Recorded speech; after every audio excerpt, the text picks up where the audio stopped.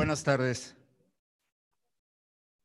Vamos a continuar con la tercera mesa sobre de, de las cuadragésima primera jornadas de historia de Occidente, con la presentación de la ponencia de la doctora Cecilia Sheridan Prieto, investigadora del Centro de Investigaciones en Antropología Social, eh, sede Monterrey.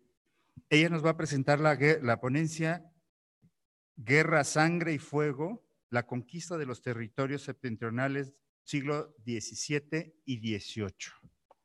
Doctora Sheridan tiene la palabra. Gracias, doctor. Eh, quiero agradecer eh, a Luis Prieto de veras con todo el corazón, pero sobre todo porque he tenido acceso a este espacio que para mí cada vez que se acerca octubre se acercan días felices y emocionantes por venir aquí, un espacio de reflexión crítica, de análisis. La verdad, muchas gracias a quienes además forman parte de esta organización y la han impulsado año con año ya durante tan largo tiempo. Me siento eh, muy contenta de estar aquí con ustedes, tanto con los ponentes como las personas del público en general. Eh, pensando ahora en la mañana que hablaban sobre las catástrofes naturales en la primera mesa, eh, me quedé pensando por qué la guerra podría pensarse o considerarse como una catástrofe.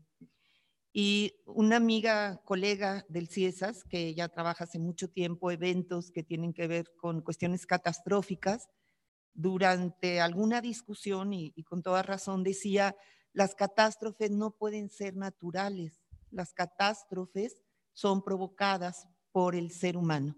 Es decir, cuando hay un terremoto en una ciudad sobrepoblada, en condiciones de una estructura, una baja infraestructura o mal, levantados los edificios, si hay un terremoto hay una catástrofe. En todo caso, si no hubiera ciudad, pues hay un terremoto y ya. Y pensando en eso, dije, bueno, ¿cómo pensar la guerra como catástrofe? Y la pienso eh, que sí, es una catástrofe eh, social y cultural, eh, que lo que nos dice, y creo, las catástrofes por guerra son proporcionales a la vulnerabilidad de quien las vive. Eso me parece que podría darle sentido a, a lo que nos convoca en esta, en esta reunión. Por eso me parece que el título Guerra, Sangre y Fuego, la conquista de los territorios septentrionales, tendría que tener un, complemento que, que diría el espacio geoestratégico para la expansión del imperio español en México. Y eso era, era un espacio geoestratégico fundamental que le va a dar sentido a toda una larga carrera de conquista y de guerra en esta región. Pienso la guerra como un estado eh, digamos, permanente de conflicto y de encuentro, eh, de lucha, digamos, entre dos culturas eh, totalmente disímiles que llevan a esta situación. Y voy a empezar la lectura con la... Ay, aparatito. Ahí está Antonio de Mendoza.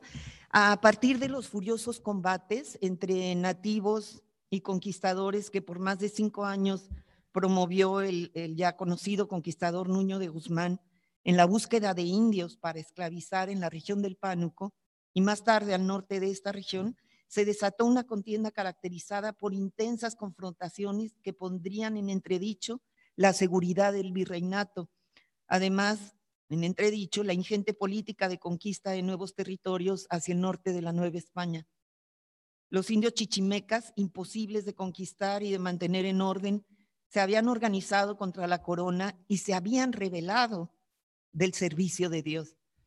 Las audiencias reales de la Ciudad de México y Guadalajara se declararon incapaces para remediar el problema por la vía del convencimiento, por la vía de la conquista espiritual, que es la que ordenaba la corona. Razón por la cual el virrey declaró que el único recurso el virrey Antonio de Mendoza declaró que el único recurso que quedaba era el de asolar a los indios a sangre y fuego. Decisión que dio pie al histórico enfrentamiento entre indios cascanes y españoles, conocido como la Guerra del Mistón. Esto por el referente al peñón del mismo nombre en el que se fortificaron los alzados en la Sierra de Zacatecas. Entre los escasos testimonios de los indígenas, Carrillo Cázares refiere a la demanda de don Francisco Tenamastle, cacique de Nochistlán de Nación Cascán, que era el principal capitán de la rebelión de Nueva Galicia que se dio entre 1541 y 1542. Este describió los actos de violencia, cito, sufridos por su pueblo a manos de quienes les habían prometido amparo y cristiandad, abriendo con ello una batalla jurídica que llegaría hasta el Consejo de Indias en voz del mismo Tenamastle, cito, para pedir justicia por los agravios que padecían las naciones chichimecas del septentrión mexicano a causa de la guerra que les hacían los españoles. El clamor de justicia, apunta León Portilla, se transformó en escritos de demanda y en testimonios obtenidos a solicitud del señor Cascán. Así iba a hacerse oír en la corte del emperador, en tanto que muchos de los alzados continuaban en pie de guerra allá en las tierras de Zacatecas y Jalisco. Tenamastle y el padre de las casas reforzaban el sentido de su lucha con argumentos de derecho natural y divino. La guerra se había convertido en alegato, pero del más subido tono.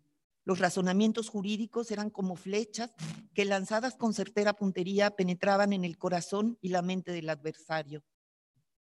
En este razonamiento de la guerra justa, por injuria conocida, el líder del enfrentamiento acaecido en el Mistón expuso a la audiencia del Consejo su derecho como una natural defensa.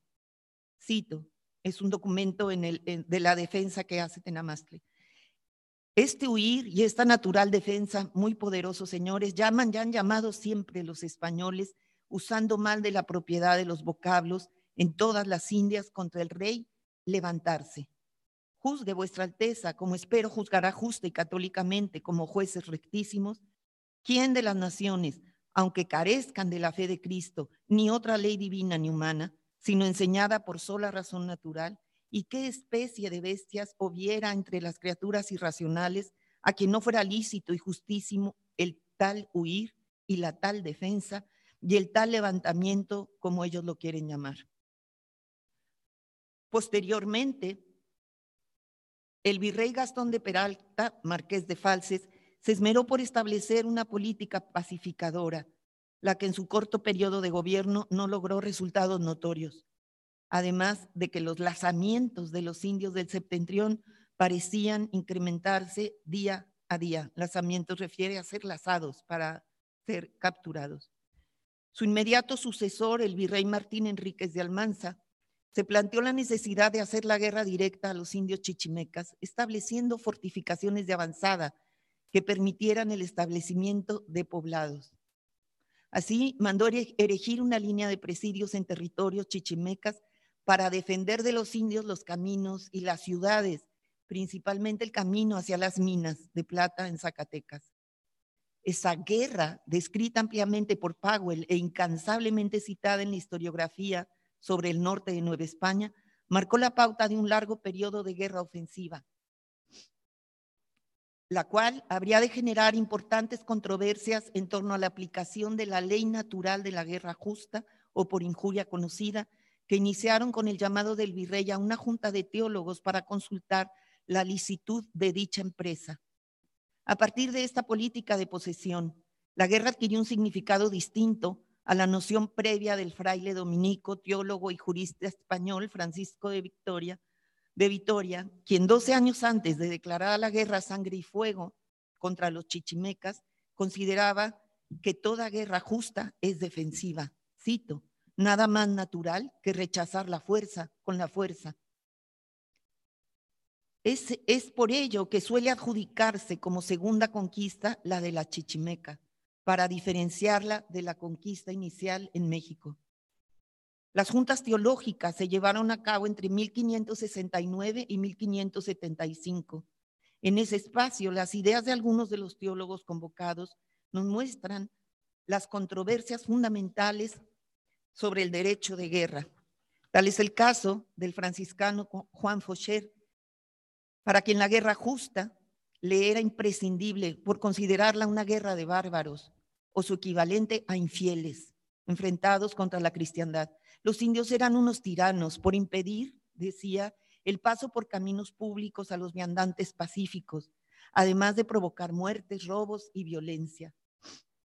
La barbarie, que pareciera explicar además la idea de rebeldía, se sustentaba en las negaciones que oponía a lo civilizado, como no labrar la tierra, alimentarse de frutos y animales que provee la tierra, no adorar a Dios ni ídolo alguno y andar siempre desnudos.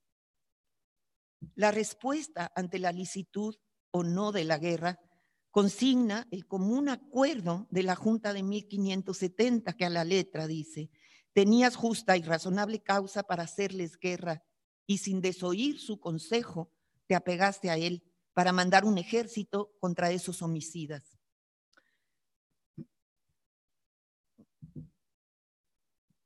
Ay, ya no sé dónde voy. Ah, em, bueno, el tratado del fraile Agustino Guillermo de Santa María, que se denomina Guerra de los Chichimecas de, 1575, de, que deriva además de las juntas teológicas, refiere expresamente a dos formas de guerra de conquista. Y dice, conviene tratar en particular de la guerra con los indios, la cual dividiremos en dos partes. Que la una será conquista, población y pacificación y conversión de ellos, como se ha hecho en todas las Indias. Y la otra será la que particularmente se ha hecho contra estos chichimecas por asegurar los caminos y castigar sus culpas. Conocedor de las costumbres de los indios guamares y guachichiles, entre los que convivió por largo tiempo, el fraile expuso el porqué de la guerra de los indios contra los españoles, justificada por la invasión de sus territorios de vida. Y decía, se defienden y ofenden con matanzas y destrucción de los ganados y haciendas a fin de echar de la tierra a los españoles e impedir que no les cautiven sus mujeres e hijos, que por esto principalmente han levantado tanta guerra y porque el ganado les destruye sus ciudades, viñas y olivares, que son sus rancherías, tierras y mezquitales, que el robar y saltear es anexo a la guerra.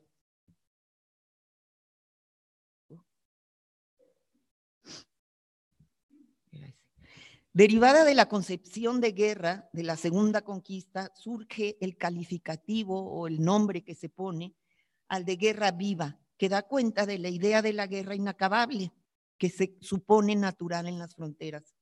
Eugenio del Hoyo lo emplea para describir una de las condiciones de la ocupación del nuevo reino de León entre la fundación de 1596 y la llegada de don Martín de Zavala como en 1626 como gobernador.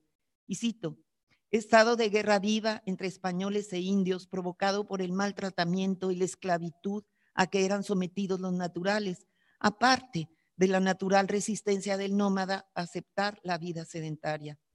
Más tarde, el mismo Eugenio del Hoyo refiere a la, a la idea de guerra y concluye de manera opuesta a la noción inicial.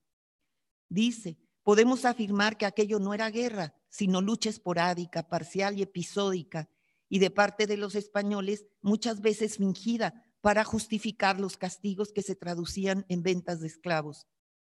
Aunque vuelve al estado constante de guerra viva como justificación de la pobreza y el abandono en que se encontraban los escasos vecinos que habitaban el nuevo reino de León en esos años.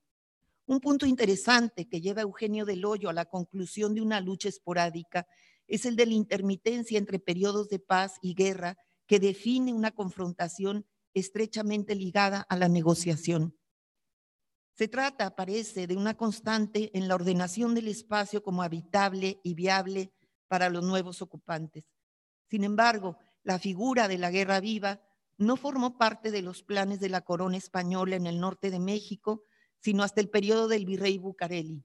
Previamente, a instancias del visitador José de Galvez, el gobierno español dio inicio a una intensa campaña de ordenamiento de sus fronteras hacia el norte ante el peligro de las amenazas extranjeras latentes desde el asalto a los ingleses, de los ingleses a La Habana en 1762. Como parte del proyecto de reforzamiento del espacio logrado, el virrey Marqués de Cruillas encomendó al Marqués de Rubilla, al ingeniero Nicolás Láfora, una visita de evaluación y reconocimiento de los presidios activos en la región y del porqué de la aparente incapacidad de los soldados para controlar a los indios que asolaban a las provincias de Sonora y Nueva Vizcaya. La relación del Áfora describe en general una infraestructura militar caduca y un sistema de reducción rebasado por la resistencia de los indios a, permanecer en las misiones. La ubicación de algunos presidios resulta inútil ante la eficacia de la infraestructura española para dominar principalmente a los indios apaches. De los informes derivados de la inspección de Rubí y Láfora, resulta evidente que por primera vez los gobiernos peninsular y virreinal reconocieron este espacio como un todo continuo en el que la reducción misional sustentada en el binomio de coerción llamado misión presidio fue la evangelización protegida. Esta había perdido total eficacia. En este sentido, la creación de una comandancia general en 1767 puede entenderse desde dos perspectivas. Por un lado, acercar el ordenamiento, es decir, el control y la administración de gobierno, eh, perdón, por un lado, acercar el ordenamiento, control y administración del espacio a las estructuras probadas para el centro de la Nueva España, y por otro, reconocer a este espacio como un ordenamiento de enclave directamente dependiente del gobierno peninsular, autónomo del virreinato. Es decir, la intención de crear un virreinato aparte, emanado directamente del poder militar. La guerra partía de la concesión graciosa de otorgar la paz y ambas acciones se ejercían desde la redención del gentilismo. La guerra podía ser considerada entonces como una cruzada, una contienda, eh, una, una cruzada continuada y una cruda guerra al infierno, personificada en el empeño de los frailes o ministros de guerra, así llamados, empeñados en el anuncio de la evangélica ley a las bárbaras e indómitas naciones, convirtiendo innumerables almas a la vida de la gracia y sacándolas del feo letargo de la culpa. Como objeto cultural, el espacio se impregnó de ideologías y valores a través de la guerra por sometimiento, transformando el límite en frontera para introducir mecanismos de inclusión a través de un trabajo sobre la liminidad dirigido a incorporar al otro. En esa nueva espacialidad, los procesos de denominación no constituyen síntomas aislados del dominio imperial, sino que contribuyen a crear y perpetuar nuevas relaciones de poder, a construir proactivamente la dominación imperial. Con la manipulación de las construcciones espaciales preexistentes, se generaron cambios en el tiempo y en el espacio que transforman las relaciones sociales también preexistentes, creando espacios de intercambio y comunicación a partir de la guerra en lugares especializados como las misiones o de retorno a la antigua espacialidad de refugio como las sierras, o en su ordenación permanente como una guerra, como un espacio de guerra intergrupal. En referencia al convento de Monterrey, cabecera del nuevo reino de León y frontera de diversas naciones bárbaras, Fray José de Arlegui describía la guerra como atributo de los indios nativos del nuevo reino de León, destacando la oposición entre los grupos nativos, y cito, son entre sí tan contrarios que continuamente se matan en las guerras sangrientas que tienen unas naciones con otras. Cierro cita. Las descripciones de Arlegui, así como las de otros cronistas, frailes y autoridades, suelen insistir en las intenciones de dominio de unos grupos sobre otros. Cito. Tienen entre sí una con otra las naciones continua guerra y viven siempre en enemistad declarada. Y si los gentiles de otras partes salen a la campaña, es por conseguir la victoria y esclavizar a los que sujetan sus armas, comiendo las carnes de los que los matan con horror de la naturaleza, siendo para ellos el bocado más sabroso el de los cuerpos humanos, quitándoles el casco de la calavera para beber en él con alegría y en señal de victoria. Don Pedro de Rivera, brigadier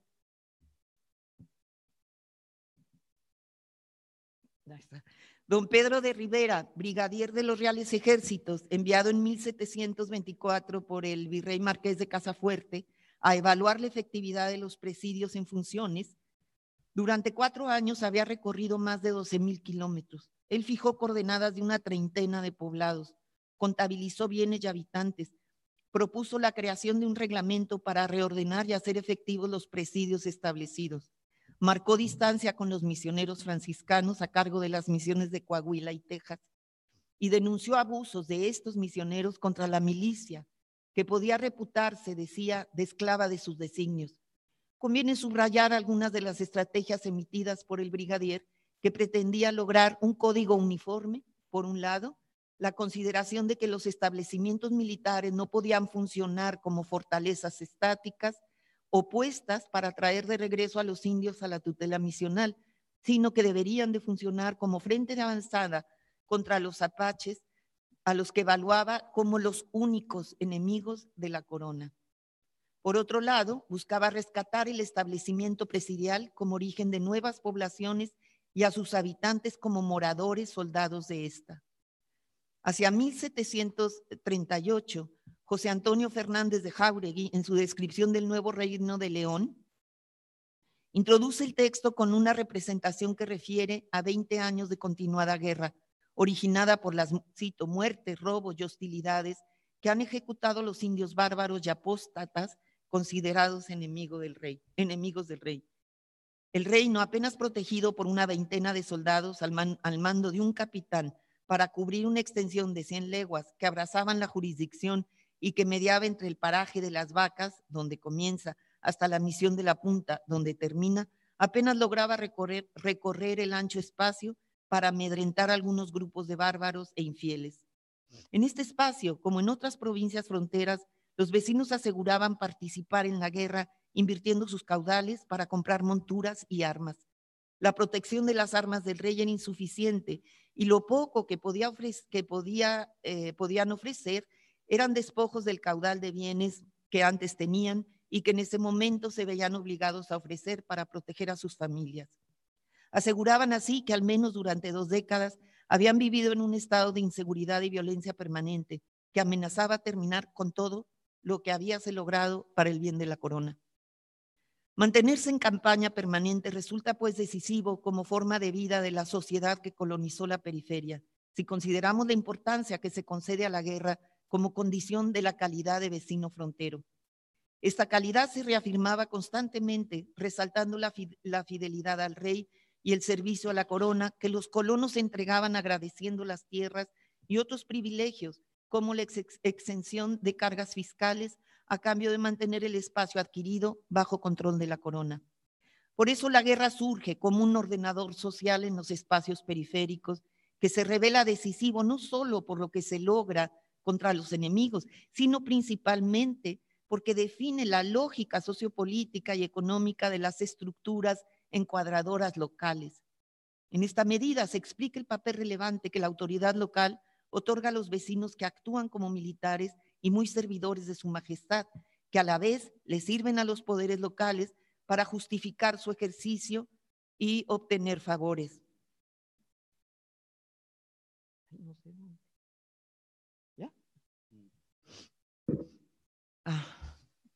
Hacia la mitad del siglo XVIII, los empeños militares se orientaban abiertamente a la guerra contra indios apaches y comanches, que controlaban casi todo el territorio considerado fronterizo.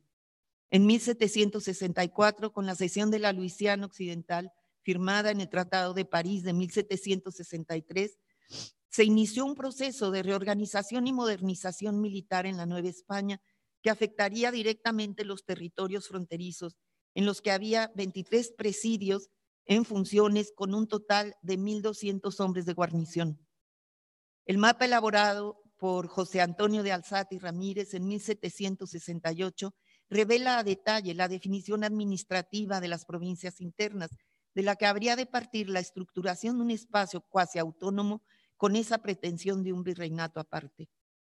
Las conquistas militares se esconden pues tras la idea de conquistas espirituales o pacíficas en defensa de lo obtenido o por conseguir, pero compartiendo ambas la misión y el presidio objetivos idénticos, es decir, conquistar, conquistar el espacio y ganar territorio, contener nativos y acotar sus espacios de sobrevivencia, expandir el imperio, abrir camino y establecer fronteras con los indios, seguir adelante.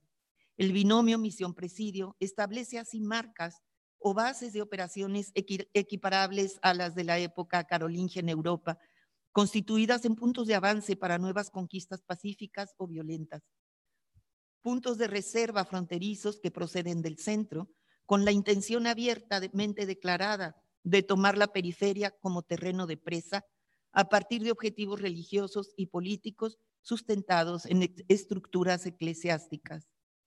La guerra en las fronteras imperiales es un intercambio continuo de bienes, seguridades y garantías no diferenciadas para unos u otros, por lo que se crea un estado de guerra que permanece en el tiempo, una guerra de desgaste que Hobbes caracterizó, y cito, por una especie de, de diplomacia infinita de rivalidades que son naturalmente igualitarias, un espacio de tiempo en que está suficientemente comprobada la voluntad de enfrentarse en batallas y que Foucault describe como un juego de representaciones recíprocamente enfrentadas que responden a la intención de establecer una soberanía de adquisición, conquista de tierras, de territorios, de donde a largo plazo surgirán en el imaginario vencedores y vencidos que suele justificar las diferencias a partir de una estructura jurídico-moral ajena para uno de los contendientes, que será además la conjura, cito, de cierto enemigo insidioso y bárbaro.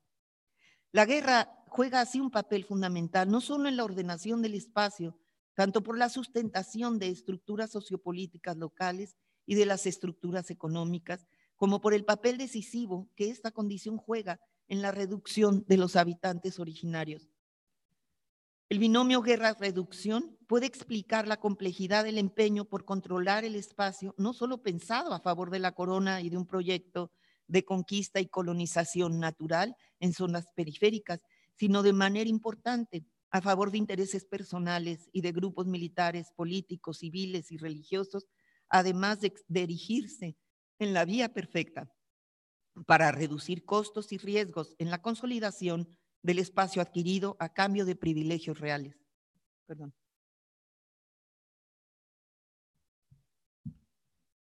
Ya voy a la, ay, perdón, a la conclusión. Oh, todavía no es. Ajá.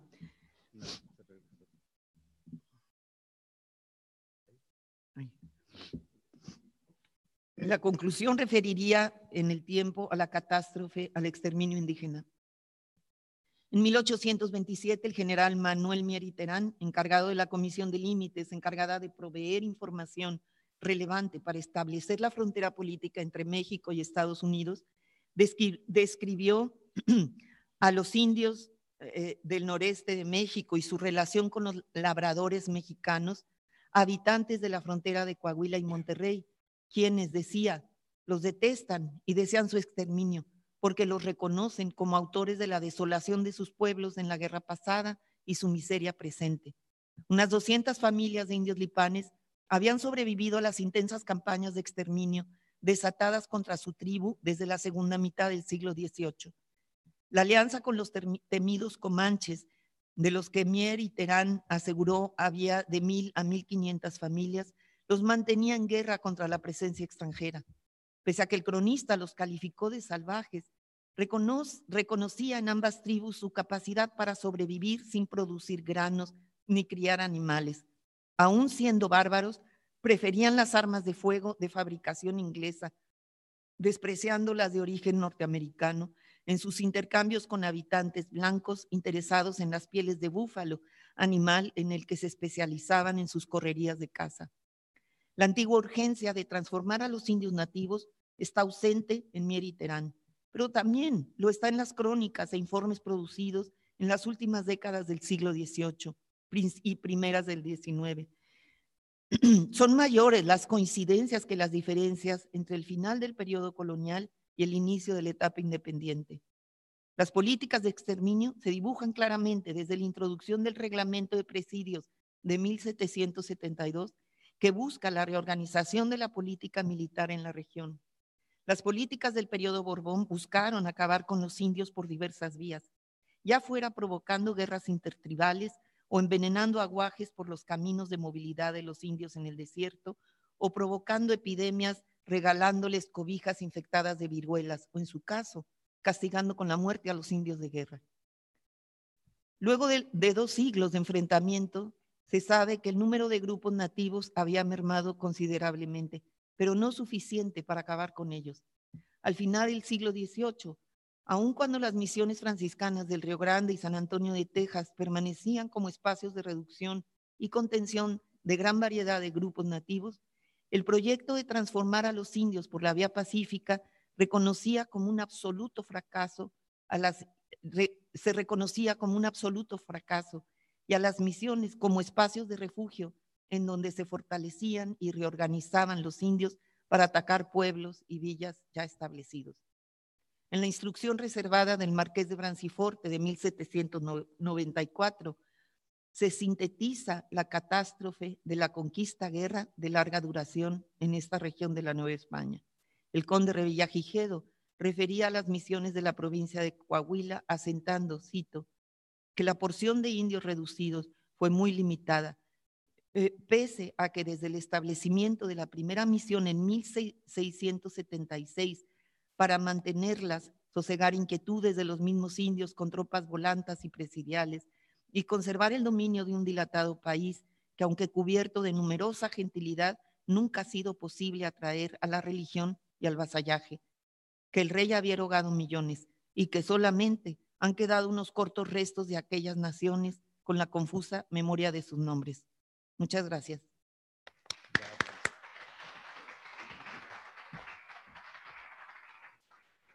Muchas gracias, doctora Sheridan, por esta extraordinaria presentación que se tiene relación con las exposiciones de en la mañana. Ahora vamos a escuchar al doctor Álvaro Ochoa Serrano, de Casa, eh, jiquilpense, investigador del Colegio de Michoacán. Él nos presenta la invasora Guaracha y los pueblos colindantes del sureste chapálico.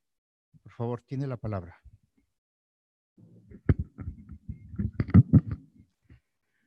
Brevísima denuncia de intromisión, daños y perjuicios queda pendiente el contexto para la comprensión de los actos. Relación de hechos. Más que bailadores pasos de guaracha, fueron patas de ganado mayor las que dieron pie al desmán que alteró la armonía de los pueblos con tierras de comunidad en el sureste chapálico. Un día de tantos por el oriente habían llegado los causantes del despojo, arriando ganado, aplastando maizales. Luego pusieron cercas e impusieron linderos. En nombre de la propiedad se echaron sobre montes, llanos y aguas, antes disfrutados por los moradores en común. Así irrumpió el latifundio guaracheño.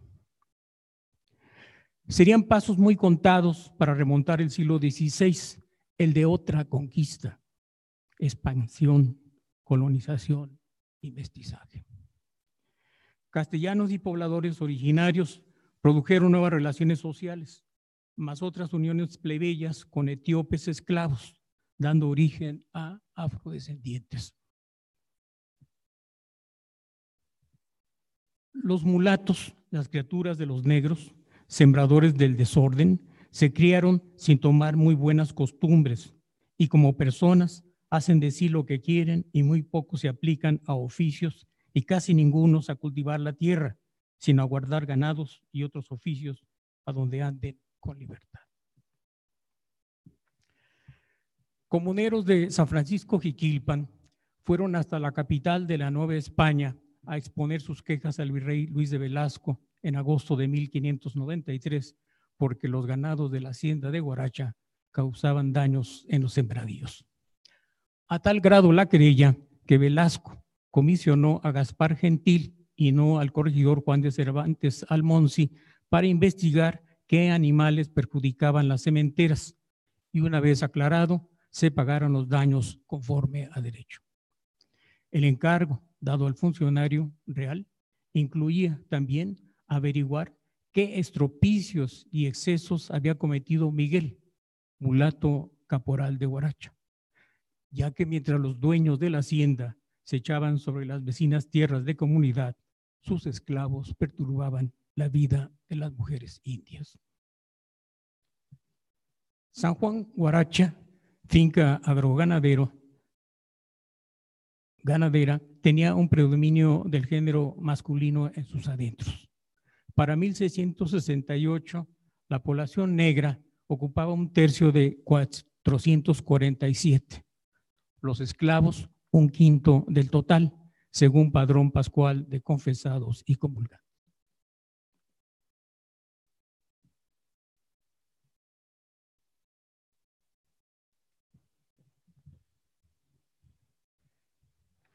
Eh, están subrayados los eh, afrodescendientes esclavos y solo hay dos excepciones donde habla un indio y de una mujer que se llama la mexicana.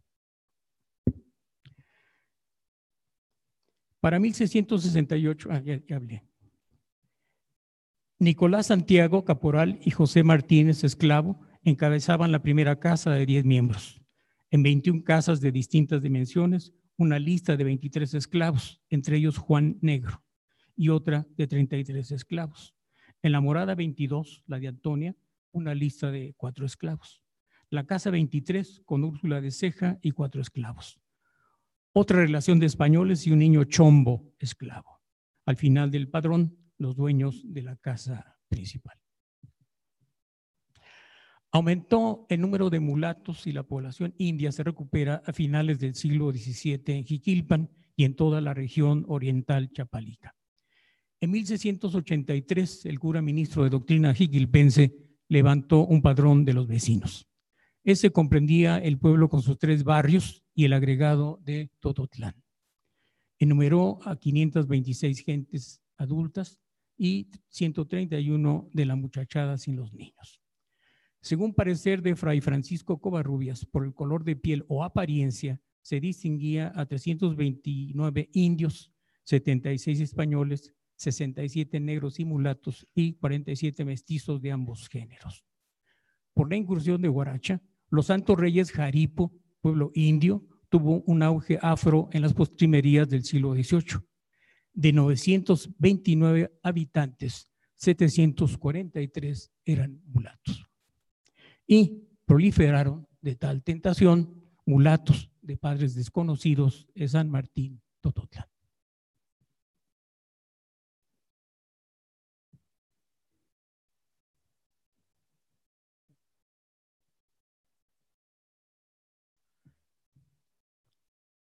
La hacienda de Guaracha, aparte de sus esclavos, ocupaba a centenares de peones en, la cosecha de caña.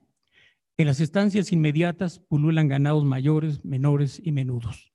Los trapiches de Peribán y Guaracha producen panocha y azúcar para los mercados de pueblos, villas y ciudades, mientras que las cofradías y los Ruiz Bustamante abastecen de lana a tejedores de zarapes, medias y sombreros. Algunos naturales siembran maíz hasta los fines de noviembre, después de haber levantado el frijol. Otros más, los laboríos que dejan la comunidad y los mulatos, se ocupan en la arriería, acomodándose de mozos de recua con los vecinos españoles que tienen mulas, o bien de gañanes, ordeñadores, vaqueros y veladores en haciendas. En 1716, vaqueros y aparceros entran hasta las jiquilpenses tierras de la Virgen del Rosario a las dos caballerías de tierra en la loma que llaman de la Calera y al puesto nombrado de la Joya. El italiano Gerardo Galice, administrador de Guaracha, hombre de extraña violencia, mandó quemar y destruir muchos ranchos de los naturales y de sus arrendatarios en el Pajonal, el derramadero y a la falda del cerrito de Apatzingán, el cerrito Pelón. Además de esto, el ganado y caballera de Guaracha entran a pastar hasta cerca de las casas y en acabándose el pasto se retiran a su centro, por lo que el ganado de la Virgen que llega a un mil reses se ve necesitado a salir a mantenerse dentro de lo que legítimamente les pertenece. Pero luego lo corren los vaqueros y arrendatarios de Guaracha, a que no ponen reparo dichos naturales por estar tan amilanados por ser parte poderosa, llegando su exceso y, y tiranía a tanto que aún algunas rastras de espinos y zacate que para sus menesteres suelen cortar dichos naturales, se las quitan después de maltratarlos como les parece. Los bienes de la Virgen revivieron allá por 1740, según registro de diezmatorios, para morir en definitiva decenios después. Lo demás casi no tuvo remedio. Presentaron una petición al superior gobierno, quejándose de disminución de sus papeles y de las injusticias cometidas en contra de ellos. Sobre esto, había pleito pendiente en la Real Audiencia todavía en 1789. Los de San Martín Tototlán se quejaban en 1759 de que la hacienda se había introducido por el viento norte en tanto extremo, dicen, que hasta las casas de nuestra habitación pastan sus ganados. Incluso la cofradía del Santísimo, mediante su mayordomo Pedro Abad García, el padre de Diego José, presentó documentación frente a la amenaza de Guaracha. Los iquilpenses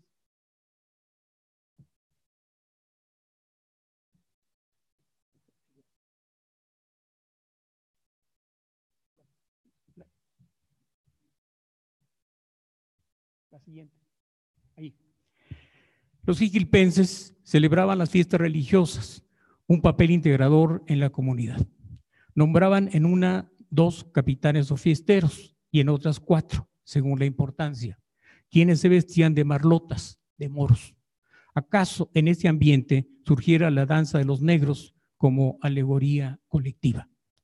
El mayordomo o la cuerita trae un toro en miniatura en señal, en señal de autoridad. Todos los danzantes llevan máscaras negras de madera y desde la frente hasta la espalda una salea negra. Igualmente manejan un chicote. Aparte del simbolismo africano, es notorio que en su evolución representara la perturbación de la gente de Huaracha a las comunidades de Tototlán y Jiquilpan. El poderío era evidente. Hasta San Miguel Guaracha quedó en Guarachita frente al latifundio. En su comprensión se hallaban las casas principales de Guaracha, que en manos de Victorino Jasso y extendida hacia la Ciénega Oriental y la parte alta del sur chapálico, tocaba a cuatro distintos curatos. Mantenía en 1789 como dos mil reses, mucha caballada y poca siembra de cuenta de ella, pero algo considerable de maíz en sus rancherías que se hallan arrendadas se han empadronado por lo respectivo a la hacienda y en las rancherías 12 tributarios indios sin radicación y 233 y medio tributarios mulatos, a más de 69 reservados. Guarachita, de mayoría aborigen, comprendía una minoría de 13 vecinos españoles, criollos, 29 indios sin radicación y mulatos. Una idea recogida en ese 1789 resalta asimismo la circunstancia de Cojumatlán respecto al mencionado dominio. Las tierras de comunidad las habían alquilado extrajudicialmente por dos años a un arrendatario de Guaracha, porque se hallaban oprimidos y sin ocurso para el entero de tributos. Amén de que, apremiados por las cargas de las fiestas religiosas, muchos, al no poder pagar, desamparan el pueblo y otros que lo consiguen esa fuerza de estar poco menos que esclavizados en una hacienda. Un vecino hispánico giraba el comercio, otros cinco dedicaban tiempo a la labranza, contribuían un par de indios laboridos sin radicación y 84 mulatos tributarios en un rancho y cuatro rancherías de labor. Por su lado, San Pedro Caro contaba con 34 y medio tributarios indios más tres y medio reservados de ambos géneros. Algunos tenían las tierras de comunidad, pero los más estaban sin ningunas. La mayor parte de las pertenecientes al pueblo se arrendó en favor del caudal común fuera de las islas que llaman las islas de la Ciénega, resultándoles el duro perjuicio de no poder lograr el maíz indispensablemente preciso para su sustento. Además, diez tributarios mulatos siete enteros y seis medios aparecían empadronados en el pueblo. En cambio, Pajacuarán registraba 98 tributarios indios fuera de 11 reservados de ambos sexos. En una hacienda pequeña, un rancho y tres rancherías de labor, se hallaban 40 y medio tributarios mulatos, 31 enteros, 19 medios. La traza del caserío, larga y angosta al pie del cerro, descansaba a orillas de la laguna nombrada de Pajacuarán, brazo chapálico en las temporadas lluviosas. En tierra firme cultivaban huertas de melones, sandías, calabazas y chilares, sembrando el maíz suficiente para el gasto. Tendrían pleito con Guaracha por la posesión del sitio Fray Domínguez. Justamente el, ímpetu de la guerra de independencia ahondaría diferencias y rencores. La violencia tocó las puertas de Tangancícuaro, domicilio de los Jasso, prendiendo en San Pedro Caro. Guaracha fue malquista al proporcionar fondos y hombres al ejército realista. Sin embargo, otros proveyeron a la insurrección, como Luis Macías Mendoza de La Palma. Hombre de posibilidades, depositó fe y dinero en Ignacio Gutiérrez para que éste respondiera por el remate de diezmos del partido de Tinguindín Peribán. El asunto de diezmos cargaba un detalle. Macías había entrado al beneficio en 1807, una vez concluido el quinquenio rematado en Manuel Béjar y su fiador Victorino Jasso, el hacendado. Aparte de, Luis Macías, una retaíla de rancheros y gente movediza buscaron ajustar cuentas con Guaracha y sus dueños, los aguayenses Rafael Gudiño y Miguel del Río, un área llamado Cojo Andrade, el albineño de Pajacuarán, Antonio Chávez, arrendatario en la mesa poniente de la hacienda, el negro Gómez en Paso de Piedras, Juan de la Vega y Ambrosio Morales de San Pedro Caro, Ignacio Ábalos y Bartolo González del Rincón de María, más de anónima de rancheros cienegueros de Guarachita, Jaripo, Chavinda, Mazamitla, Jiquilpan, Tinguendín y Tangancícuaro. En el lluvioso junio de 1812, Diego Moreno Jasso, el barquense nieto del dueño de Guaracha, había saltado a la arena echando mano a sus fierros en plan de pelear. Auxiliado por el regimiento de mascota y realistas de la barca, embistió a 200 hombres de Miguel del Río en la ciénega de Cumuato sin éxito. El zaguayense del Río había liquidado a José, María, a José Mariano de Jasso Morellón, tío de Diego, en la estancia del Platanar, convertida luego en refugio del insurrecto chino. Y ya desde finales de 1811, otro nieto, el clérigo Ángel Mariano Morales Jasso, había huido de Zamora a Valladolid por evitar las persecuciones de los rebeldes y no perder la vida en sus manos. Dos hijos de Jasso, los presbíteros Benito y José Antonio, tomaron respectivas providencias. Para entonces hacían resistencia los rebeldes de la isla de Mezcala. Por otra parte, los insurrectos continuaban dedicando ataques a los Jasso. En uno de tantos, escribe Luis González, acabaron con el opulento don Victorino Jasso, que andaba hecho uno con los realistas. Tras incendiarle sus casas en Tangancícuaro, le cayeron a Guaracha, lo golpearon con enojo, mataron al hijo político que pretendió quitárselos y a él lo dejaron por muerto. Jasso terminó sus días en enero de 1813. Los rebeldes daban la impresión de querer acabar de raíz con toda la parentela. El alférez Morales, yerno de Victorino, pintó su raya. Mientras Ignacio López Rayón entraba por una punta de Zamora, él salía de la opuesta con rumbo a Valladolid. Si bien las aguas broncas volvieron a su cauce, tras la muerte de Morelos y la capitulación de la isla rebelde Chapálica, uno de los Morales Caso describía a otro familiar la desolada situación sobre la heredad en 1817. A resultas de haber entrado nuestras tropas a Mezcala, se dispuso por nuestro gobierno poner guarnición en Guaracha y San Simón. Ambas subsisten con los pocos rendimientos que produce la finca, porque esta quedó con cosa de 400 reses en toda su extensión y corto número de huellada, no suficiente para trabajarla. Diego Moreno Jasso desenvolvió su existencia como hacendado en Guaracha y negociante en la barca. Fue diputado titular al Congreso Nacional por Jalisco en 1822, suplente en 1824. Mediante disposición testamentaria de su abuelo, tomó posesión de San Juan Guaracha, San Antonio Cojumatlán, La Mula y Rincón del Mezquite. Sentó casa en Zamora. Logró ser gobernador de Michoacán al ritmo del presidente Anastasio Bustamante en 1830-32. Retornó a Jalisco volvió a los negocios y expiró su vigencia en Guadalajara en 1849. Sin embargo, muchas y viejas deudas gravitaron la existencia de Guaracha y el arrendador José Dolores Acuña no pudo sobrellevar la carga. Así que, por disposición de los herederos, la parte de arriba se reparte en julio de 1862. Lázaro Cárdenas del Río recordó la narración de su abuelo Francisco. Allá por 1863 hubo un levantamiento de los arrendatarios de las tierras altas de los municipios de Jiquilpan, Mich y Mazamitlajal, arrendatarios que plantearon la colonización y que obligó al gobierno a exigir a Guaracha les vendiera tierras. La sobreviviente Guaracha, en poder de otro Diego Moreno, dio que decir. A pesar del desarrollo industrial sobre vías férreas, Jiquilpan quedó fuera del alcance al Bajío a causa de dicha hacienda. En 1833, el inquieto Crescencio García había cifrado esperanzas en unos yacimientos de carbón. Inclusive fundó la compañía exploradora minero carbonífera de Jiquilpan.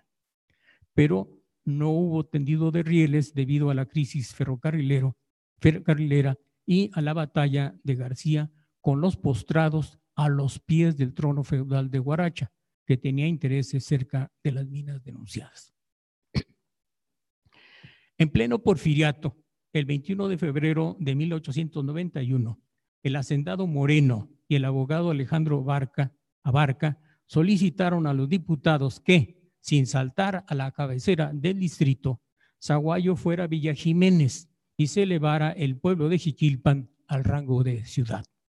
El gobernador Mariano Jiménez decidió que Jiquilpan cargara el apelativo de su paisano Juárez, Zaguayo, el oaxaqueño de Porfirio Díaz.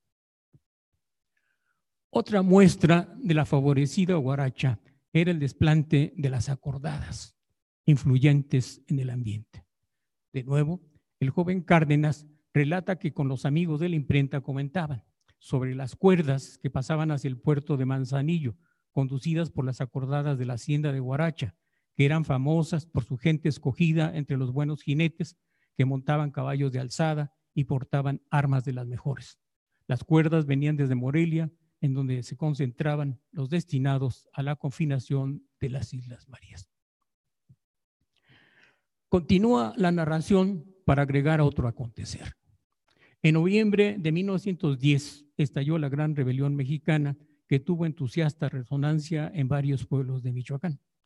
Señala que en Jiquilpan se distinguieron el doctor Gustavo Maciel, Francisco Tinajero, Trinidad Mayés y campesinos de las comunidades de Totolán y Los Remedios que reclamaban la restitución de sus tierras que les tenía absorbidas la hacienda de Guaracha.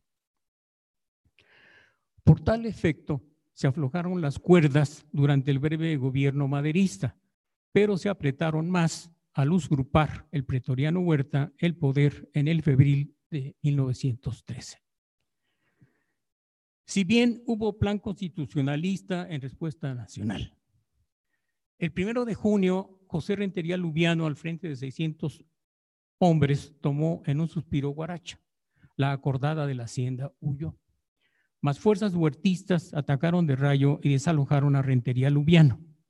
Acontecimiento constante con la desecación de la ciénega, emprendida por la Compañía Agrícola de Chapala desde 1906. Después del triunfo sobre Huerta y atravesar la encrucijada de facciones, el régimen del primer jefe encargado del Poder Ejecutivo de la Nación, léase Carranza, convocaría a elecciones para el Congreso Constituyente. Tras los comicios de octubre de 1916, el médico Amadeo Betancourt y Abraham Mejía figuran como diputados titular y suplente por el distrito de Jiquilpan. Betancourt, vuelto de México, era regidor del ayuntamiento y, y había prestado sus servicios a la hacienda de Guaracha. El segundo, dibujante y periodista, crecía en el gremio político de los Bravo Betancourt. Formalmente, el distrito de Jiquilpan abarcaba Guarachita, Cotija, Jiquilpan, Régules, Zaguayo y Tinguindín. En la justa de sufragio constituyente, Francisco José Mujica, nacido en Tinguindín, ex seminarista, alguna vez residente en Zaguayo y receptor de rentas en Chavinda, encabezó la candidatura de la vecina diputación. En busca de votos y por excepción, consiguió atraer la municipalidad de Guarachita al distrito de Zamora. A la vez, logró una restitución provisional de tierras para Guarachita en 1917. Promulgada la Constitución en 1917 contra la voluntad de Guaracha, Abraham Mejía y Lázaro Cárdenas acudirían como propietario y relevo a la nueva legislatura federal. Mejía asistió a las sesiones. El suplente Cárdenas hacía campaña militar en el norte.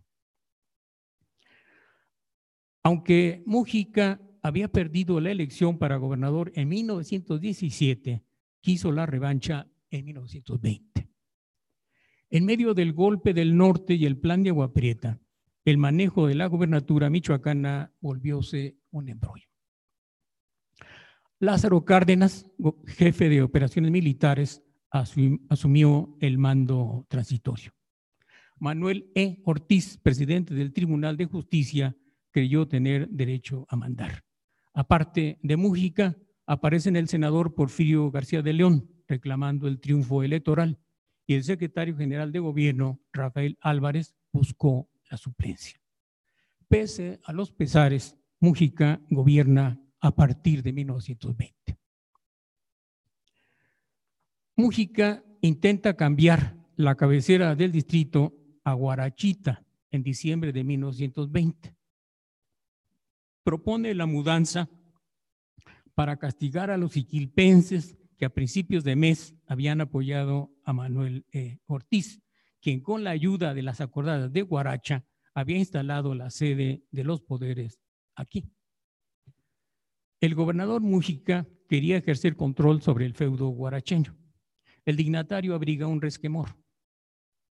Guaracha pone en juego todos sus recursos y despliega todos sus tentáculos para obstruccionar el actual régimen para corromper la administración de justicia y para entorpecer toda tendencia evolutiva.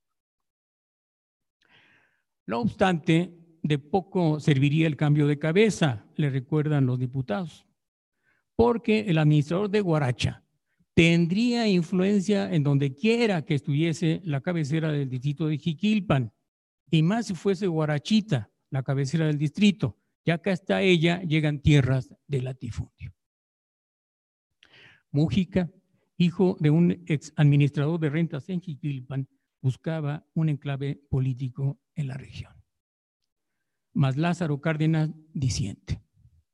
Desde Tepic mandó un telegrama al Congreso local transcribiendo otro que le dirigen los vecinos de Jiquilpan, haciéndole saber que se, ha que se ha presentado ante este Congreso una iniciativa para que se eleve a la categoría de cabecera de aquel distrito el pueblo de Guarachita. Cárdenas pide que el asunto se resuelva con entera justicia, es decir, dejar las cosas como estaban. El Ejecutivo Estatal, Mújica, insiste, instó al Congreso que en las elecciones de 1921 el colegio electoral del distrito jiquilpense se reuniera en Guarachita y que para las de 1922 se denominara Distrito Guarachita. Así fue, pero ya sin la injerencia del promotor. El comerciante jiquilpense José Cervantes, apoderado de Guaracha y presidente municipal de Jiquilpan, se convertiría en diputado de Guarachita en la 39 legislatura local, sin suplente, en agosto de 1922 años en que el remolino atractivo de los grandes lagos en la tierra de Tío Sam levantó a cientos de migrantes cienegueros y algunos guaracheños. Y a Kende, la frontera, la tormenta cristera, la cristeriada de 1926-1929, removía rencores nada cristianos. Las almas en conflicto tomaron partido por el culto religioso y el desafecto al reparto de tierras.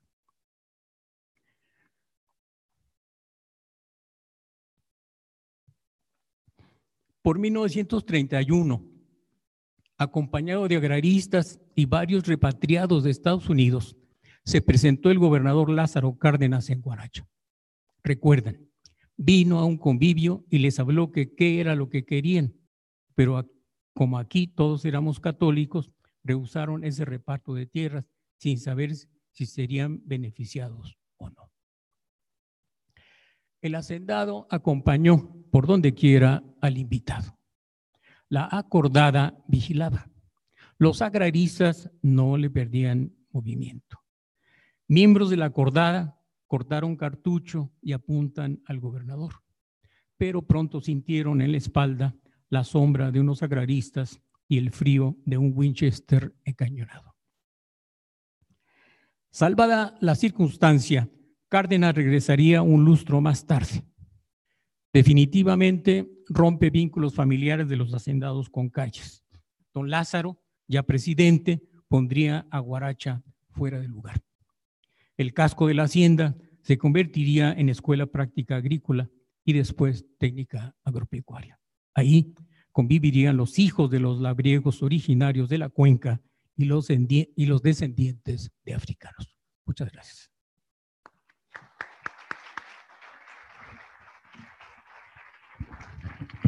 Muchas gracias, doctor Ochoa. Ahora vamos a dar la palabra al doctor Martín González de la Vara del Colegio de Michoacán.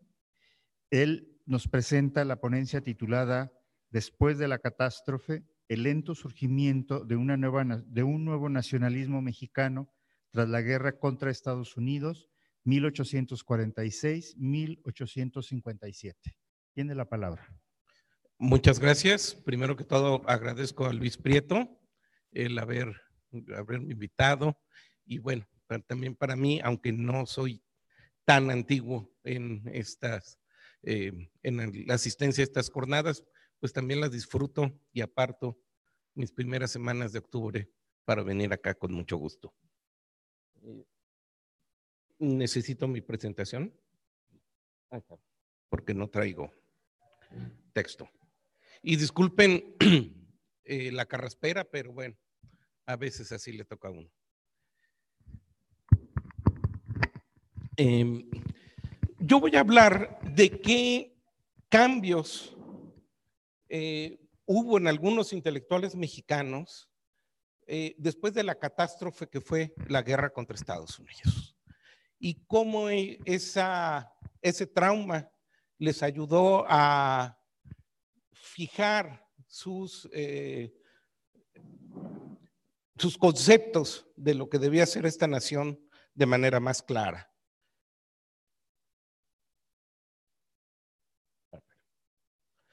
En enero de 1848, eh, la situación de, México como país era catastrófica, porque no solamente estaba tomada la Ciudad de México, eh, estaba tomado el 70-80% del territorio del país. Estaban em, casi los puertos del Pacífico y algunos del Atlántico estaban bloqueados. Eh, después de que los norteamericanos tomaron la Ciudad de México, siguieron su avance, es algo que poco se sabe, pero tomaron Cuernavaca, tomaron Toluca, llegaron hasta Tlalpujagua, ya sin tanta prisa, pero siguieron avanzando. De hecho, eh, el gobierno mexicano estaba atado de pies y manos. Los estadounidenses estaban sorprendidos de cómo un país que había perdido rigurosamente batalla tras batalla, tras batalla, tras batalla, medio se recomponía y volvía a presentar a otra batalla que volvía a perder, pero no se rendía. Los norteamericanos pensaron que dos buenas batallas, así como Cerro Gordo, como este, Veracruz, con eso ya México se iba a rendir. Pero no, México no se rindió, pero eso hizo que, que entraran más y más norteamericanos. Eh, de hecho, para esas épocas hay un movimiento en Estados Unidos que es el movimiento de todo México. No fue un movimiento muy popular, tuvo mucho apoyo en algunos estados del, sur de Estados Unidos, como Luisiana, como Mississippi, pero em, en el Congreso norteamericano mm, sabían que si se anexaban todo México, iban a tener un problema muy grande en la administración de ese enorme territorio y había muchos que no querían tener que ver con los mexicanos. de alguna manera, eh, pero eh, se estaba viendo la posibilidad de que México podía desaparecer como nación libre e independiente. Era una eh, situación difícil. sabemos que cuando el ejército norteamericano entró a la Ciudad de México, hubo una especie de rebelión popular, hubo una batalla sin nombre entre el 14 y el 17 de septiembre de 1847. Pero con el paso de los, eh, de los meses, la, la situación se fue calmando. Todos sabemos que en enero de 1848 se hizo el famoso brindis del desierto, 30 de enero. Eh, en esa ocasión, el ayuntamiento de la Ciudad de México, que había sido nombrado por Winfield Scott, con liberales puros, los más radicales, le ofrecen un banquete a los oficiales del ejército este, con el que todavía estaban en guerra, técnicamente. Y eh, les piden que se queden el tiempo suficiente para terminar con la influencia de la iglesia y con la influencia de los conservadores. ¿Qué, diablos está pasando ahí? De pronto, este, se ve al, al ejército norteamericano como salvador, pues algunos sí. Y algunos dirían que, bueno, los elementos populares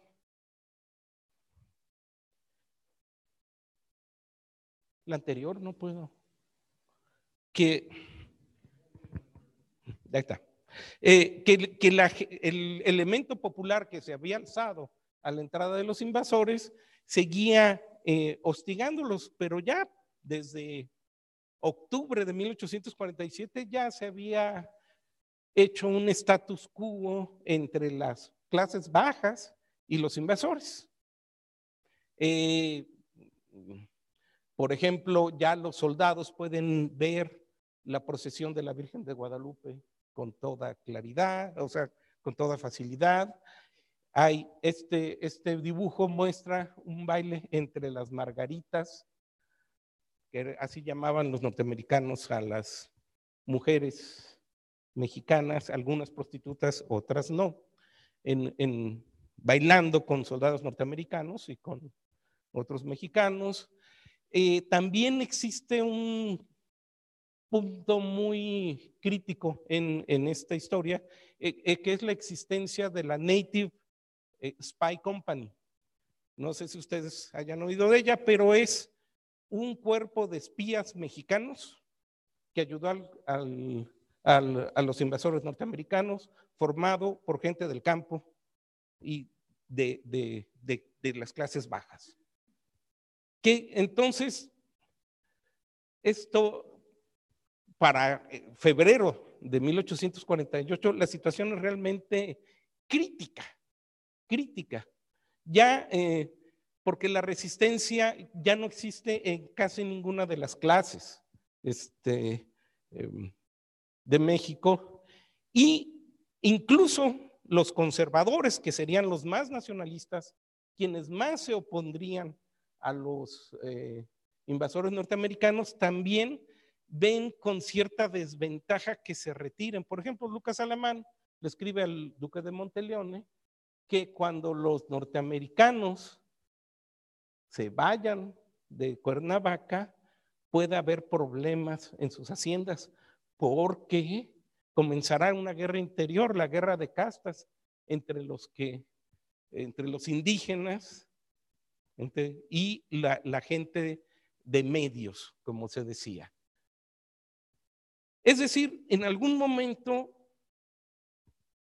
los grupos políticos, que serían liberales, moderados y, puros, y los conservadores, que serían monárquicos y republicanos, se están acomodando a la idea de que este,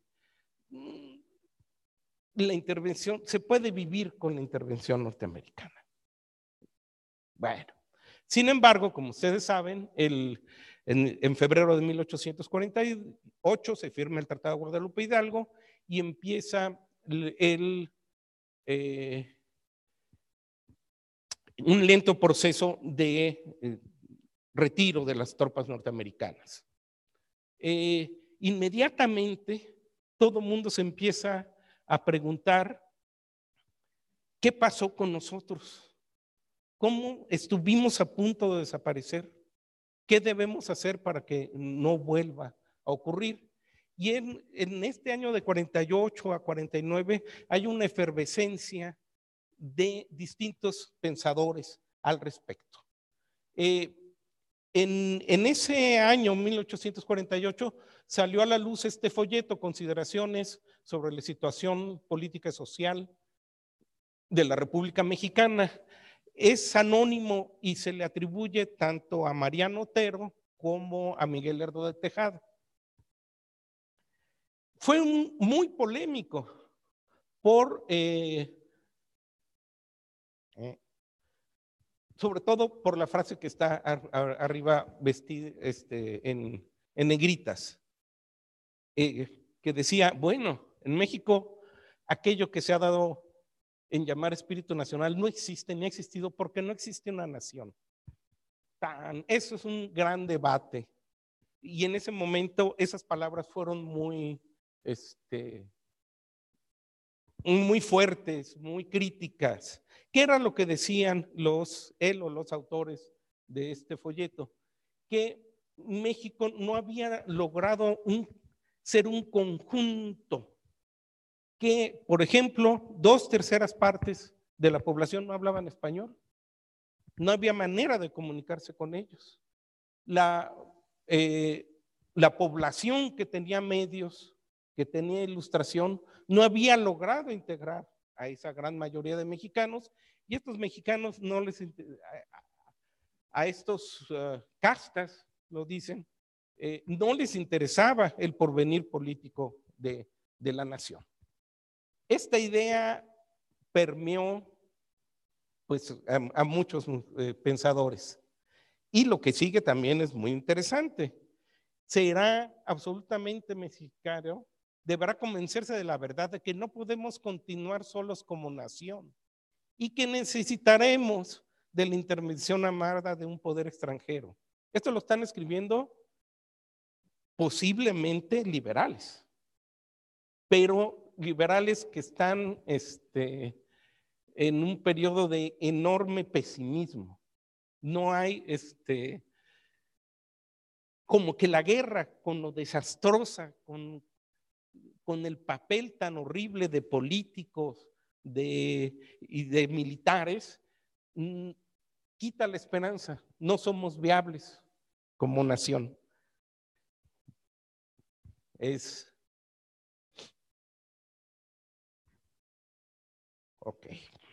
estamos saltando. Hoy hay varias editoriales en periódicos que reflejan puntos de vista más o menos parecidos. Elementos de desintegración acumulados en forma nos remuestran, nos hace dudar si la república es realmente una sociedad o, un o simplemente un grupo de hombres sin lazos. Se está eh, dudando, digamos, de la existencia de la nación mexicana y si no hay nación, ¿qué vamos a defender? ¿Qué ¿Qué, nos, nos, espera en, el futuro próximo? José, José Fernando Ramírez, un liberal moderado que luego se va a hacer conservador, es, tiene exactamente la misma idea. No hay motivo de, de preocupación si no queremos federalismo, ni centralismo, ni monarquía, sino solo revoluciones. La, o sea, el autoestima nacional está por el piso. E incluso llega a los sectores populares, que de los cuales es muy difícil saber este, qué es lo que están pensando. Una copla popular cantaba, no me imagino la melodía, pero para la guerra no somos, para gobernar no sabemos. Luego, ¿para qué seremos? es muy dramático finalmente, ¿no? y el hecho de que esto haya permeado las clases populares quiere decir que este ánimo, este pesimismo estaba generalizado en amplias capas de la población. Mm. Sin embargo, poco a poco hay algunos ah, anuncios que tratan de ver de esta catástrofe, sacar una lección. Decir, ya, por favor, si hemos sido tan malos para defender lo que nuestros padres nos eh, heredaron, tenemos que ser, eh, tenemos que tomar determinaciones claras y suficientes eh, mm, para levantar a este país, si es que existe. Eh, por ejemplo, el, el monitor, el monitor republicano dice, ciertamente parece una paradoja, pero si atendemos a la sustancia de las cosas, es decir, a las causas que nos llevaron a perder esta guerra de manera catastrófica, puede ser que haya sido más útil para la República la derrota más que la victoria. Entonces, lo que pensaría, bueno, entonces, ¿qué vamos a hacer? ¿Qué debe hacer el gobierno? ¿Cómo se reconstruye este, ahora diríamos, tejido social? Eh, eh, en ese mismo año, en 1848, se publica un primer libro sobre la guerra, Apuntes para la historia de la guerra entre México y Estados Unidos. Es un libro eh, eh, redactado por un grupo de liberales moderados, puros y algunos incluso conservadores, eh, donde relatan de manera testimonial cómo, cómo vieron la guerra paso a paso. Para lo que yo conozco más, que es la historia del norte de México, Ahí se puede ver como un sacerdote bastante conservador, Ramón Ortiz, da su testimonio de cómo se fueron, cómo fueron las eh, batallas por las que se perdió eh, Chihuahua. Entonces, bueno, cuando menos es un grupo de personas unidos este, con la que saben que tienen distintas ideologías, pero quieren dejar constancia de esa guerra para que no vuelva a ocurrir. Eh, la guerra concluyó dejando un sentimiento de tristeza. Eh, pero, está diciendo, si quitamos el desorden, aspirantismo y la anarquía, este, puede ser que podamos defender al país. Es decir, hay mm, un ánimo de, reconciliación. Ahora, al presidente que le toca eh, regir al gobierno central mexicano, inmediatamente después de la guerra, José Joaquín de Herrera, eh, él tiene un, uno pensaría que habría planes de reconstrucción, que los liberales pensarían en algo para, en programas, pero en realidad no fue así. Digamos, el trauma no trajo este, una reconstitución rápida de, los planes de lo, sobre lo, que debía ser México.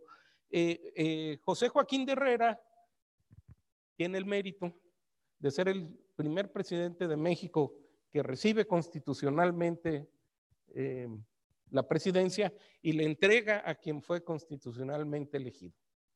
Cuando él recibe la presidencia, se la da el Congreso porque nadie la quiere. Pero bueno, este, la recibe y em, tiene una...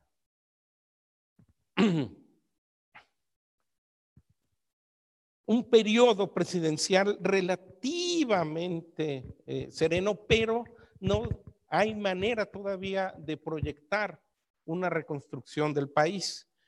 Ah, en 1848, ustedes saben, fueron las revoluciones eh, europeas, las revoluciones populares europeas, que en México fueron recibidas con miedo a todo lo que sonara a socialismo. Em, había problemas por todas partes. Yucatán se acababa, eh, eh, estaba en pláticas para regresar a la República Mexicana y acepta regresar siempre y cuando el gobierno eh, le prometa ayuda para luchar contra los rebeldes de mayas de Chan Santa Cruz. Como hay un poco de dinero pagado de la indemnización, se logra ese objetivo y Yucatán regresa a, la, a ser parte de México, aunque la rebelión de las castas dura por mucho tiempo más. Los bárbaros es en, entre 1849 y 1850, las incursiones de los bárbaros, especialmente de los comanches, bajan hacia el sur a lugares insospechados. Ya en los años 40 habían llegado a Nuevo León, pero a finales de esa década y a principios de los 50 llegan a San Luis Potosí, llegan a Zacatecas, incluso hasta la parte norte de Guanajuato, zonas que durante siglos ya no habían visto a lo que se llamaba un indio bárbaro. Se culpó a los norteamericanos de asusar a estas eh, eh, incursiones, pero si se ve con a lo largo del tiempo, parece una consecuencia natural, o sea, que ese proceso venía desde algunas décadas antes, en los años 40 habían entrado a, a, Nuevo León, por ejemplo. Pero bueno, el, el, país seguía siendo víctima. Y también hubo rebeliones, rebeliones como la de el padre Jarauta, como la de Paredes y Arrillaga, de personas conservadoras que decían que México no debía aceptar el Tratado de Guadalupe Hidalgo. Pues ya digo, y, decían que era traidor José, eh, José Joaquín de Herrera por aceptar el dinero y aceptar pues este, la pérdida territorial, pero pues ya no se podía hacer más. Ah, por ejemplo, alguien asesinó a un a José, a Juan de Dios Cañedo, que era un este, político conservador y le echaron la culpa a José Joaquín Herrera. y alentaban pues este, la rebelión. Para más catástrofes, la epidemia mundial de, cólera morbus azota a México de 1850 y 1851, castigo de Dios, y en ella incluso se muere Mariano Otero. Es decir, no había mucho que hacer, incluso este, em, em, Melchor Ocampo en esa época tiene pensamientos muy similares a los demás. Em, aquí, bueno, en, esto lo escribió poco tiempo después de la firma del Tratado de, de Guadalupe Hidalgo y es algo, es una una vez que hemos demostrado que nada valemos, ¿cuánto de garantía de lo que nos deja la magnanimidad. O sea, ¿cuánto nos...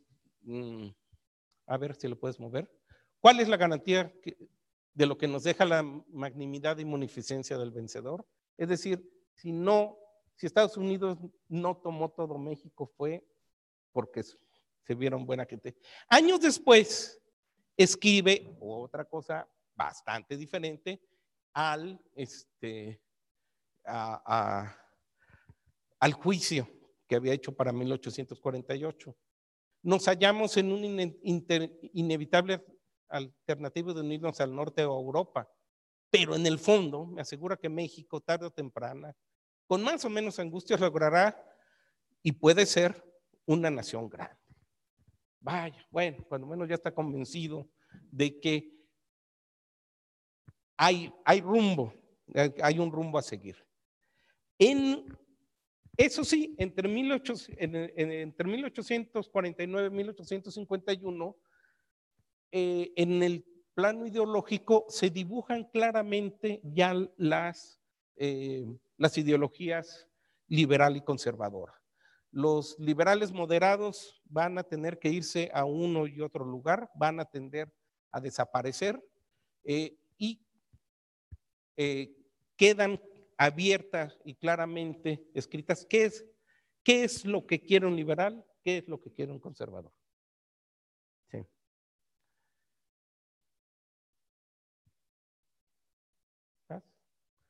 En ese mismo tiempo, eh, Lucas Alemán escribe su Historia de México, expone el ideario conservador, en el cual se basa, la religión católica como la única, el único lazo que une a todos los mexicanos. Es uno de los pocos argumentos que tienen los conservadores. Pero ya eh, Mariano Arista tiene un gobierno realmente eh, desastroso, dura un poco más, un año y pocos meses, y eh, no logra construir ni sustentar nada. De hecho, eh, termina con el regreso al poder de Santana en su última y más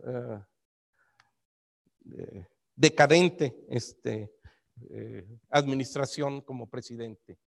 Pero para Sabemos que a partir de 1855, el los idearios conservador y liberal ya están claramente definidos. Y yo creo que se debe a que buena parte de sus ideólogos vivieron el trauma de la guerra y tuvieron que decidirse. Una nueva generación toma el, el rumbo del país, una generación que ya no va a transar, va a defender sus ideas, y va a morir por ellas, sean liberales o sean conservadores. Y como corolario, algunos años después, eh, algunos intelectuales conservadores y liberales se dan cuenta de que para forjar un país, el país tiene que aprender su historia. Y se empiezan a escribir los primeros manuales de historia para niños. El, uno es de, un conservador, Manuel eh, José María Roa Bárcena, escribe este catecismo de la historia de México eh, en 1862 eh, y unos años después las lecciones de historia patria de Guillermo Prieto dan el punto de vista liberal en este, cuya primera edición es en 1875. Es decir, que digamos, hubo, tuvieron que pasar 10, 12, 15 años para que los pensadores mexicanos asimilaran eh, el trauma de la derrota con, de la guerra de Estados Unidos y que sacaran algo bueno de esa catástrofe. Muchas gracias.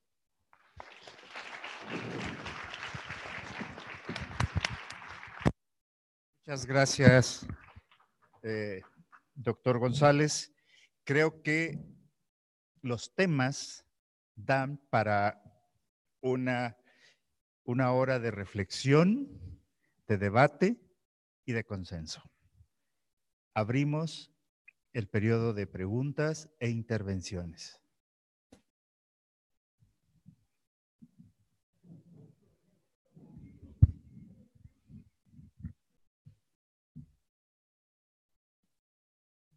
Hola.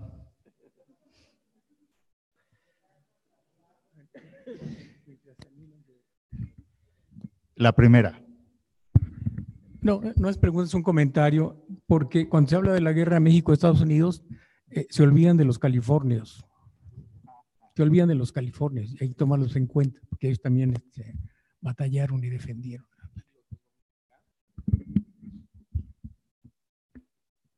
Bueno, ¿Alguien se anima? Buenas tardes.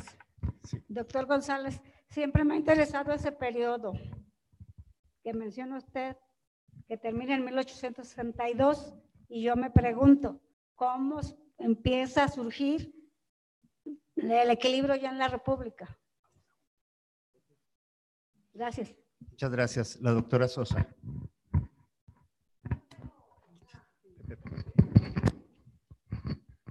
Tengo una sensación contradictoria, que me transmitieron muy profundamente la, desazón de todo el, de todo el periodo de un lado y del otro, pero, pero sí creo que están ocurriendo en el país muchísimas cosas contradictorias seguramente, pero que no se deja de pensar en el futuro del país en ningún momento. Y, y me acuerdo bien de las levas que hacían los liberales en los pueblos, el propio Mariano Otero, que fue heroico pero Melchor Ocampo, Benito Juárez, los textos de Benito Juárez con donde dice nosotros para defender a México hipotecamos todo lo que tenga el gobierno de Oaxaca, cuando él era el gobernador de, Oaxaca. Y así Melchor Ocampo está proponiendo guerra de guerrillas. O sea, hay, hay un pensamiento muy intenso cómo salimos de esto.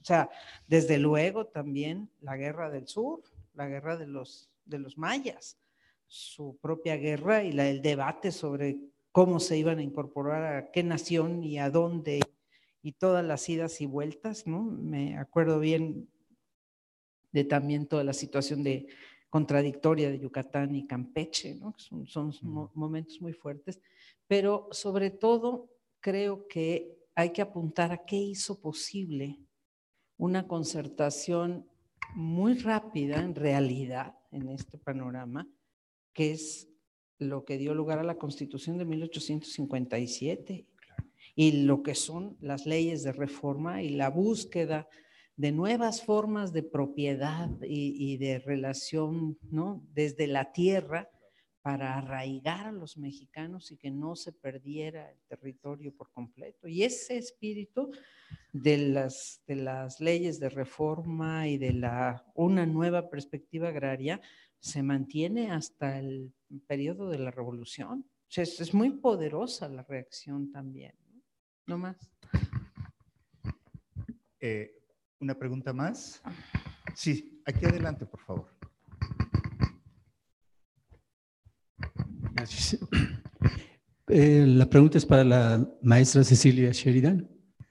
Eh, ¿Se puede considerar que la conquista de los territorios del norte de la Nueva España perdón, ¿sí? del norte de la Nueva España, así como de los territorios del sur y del centro, fue a través de guerras a sangre y fuego y que uno de sus instrumentos más importantes de sometimiento fue la esclavitud de los naturales. Muy bien, eh, cerramos este ciclo y abrimos otro. Por favor, ¿quién quiere contestar? Bueno, eh, es muy interesante cómo de este caos, de esta pesimismo generalizado, en cosa, mm, digo, no es de un día para otro, pero en, cosa de 10 años ya surgen claramente dos proyectos de nación, ya y con gente comprometida en uno y otro, en otro bando. Claro, uno de esos proyectos triunfa. Eh, el proyecto liberal triunfa claramente, tenía mucho más elementos para hacerlo. Pero esta guerra parece haber sido como una llamada de atención. Ya no, eh, donde la clase política tiene que comprometerse con sus principios, dejar de, de de transar y comprometerse. Yo soy de este lado y yo soy de este lado y vamos a ver cuál de nuestros eh, proyectos triunfa, aunque me vaya la vida en ello. Y por eso eh, esta generación de gente de la reforma de los dos bandos eh, contrasta mucho con aquellos caudillos que transan, sí, tú, luego yo, que fueron como era Santana y su gente. Em, no es evidente, pero yo creo que sí el, trauma de, de, ver a México a punto de desaparecer, este, poco a poco y con muchas este, trabas, hizo que se consolidaran estos dos proyectos eh, a lo largo del tiempo.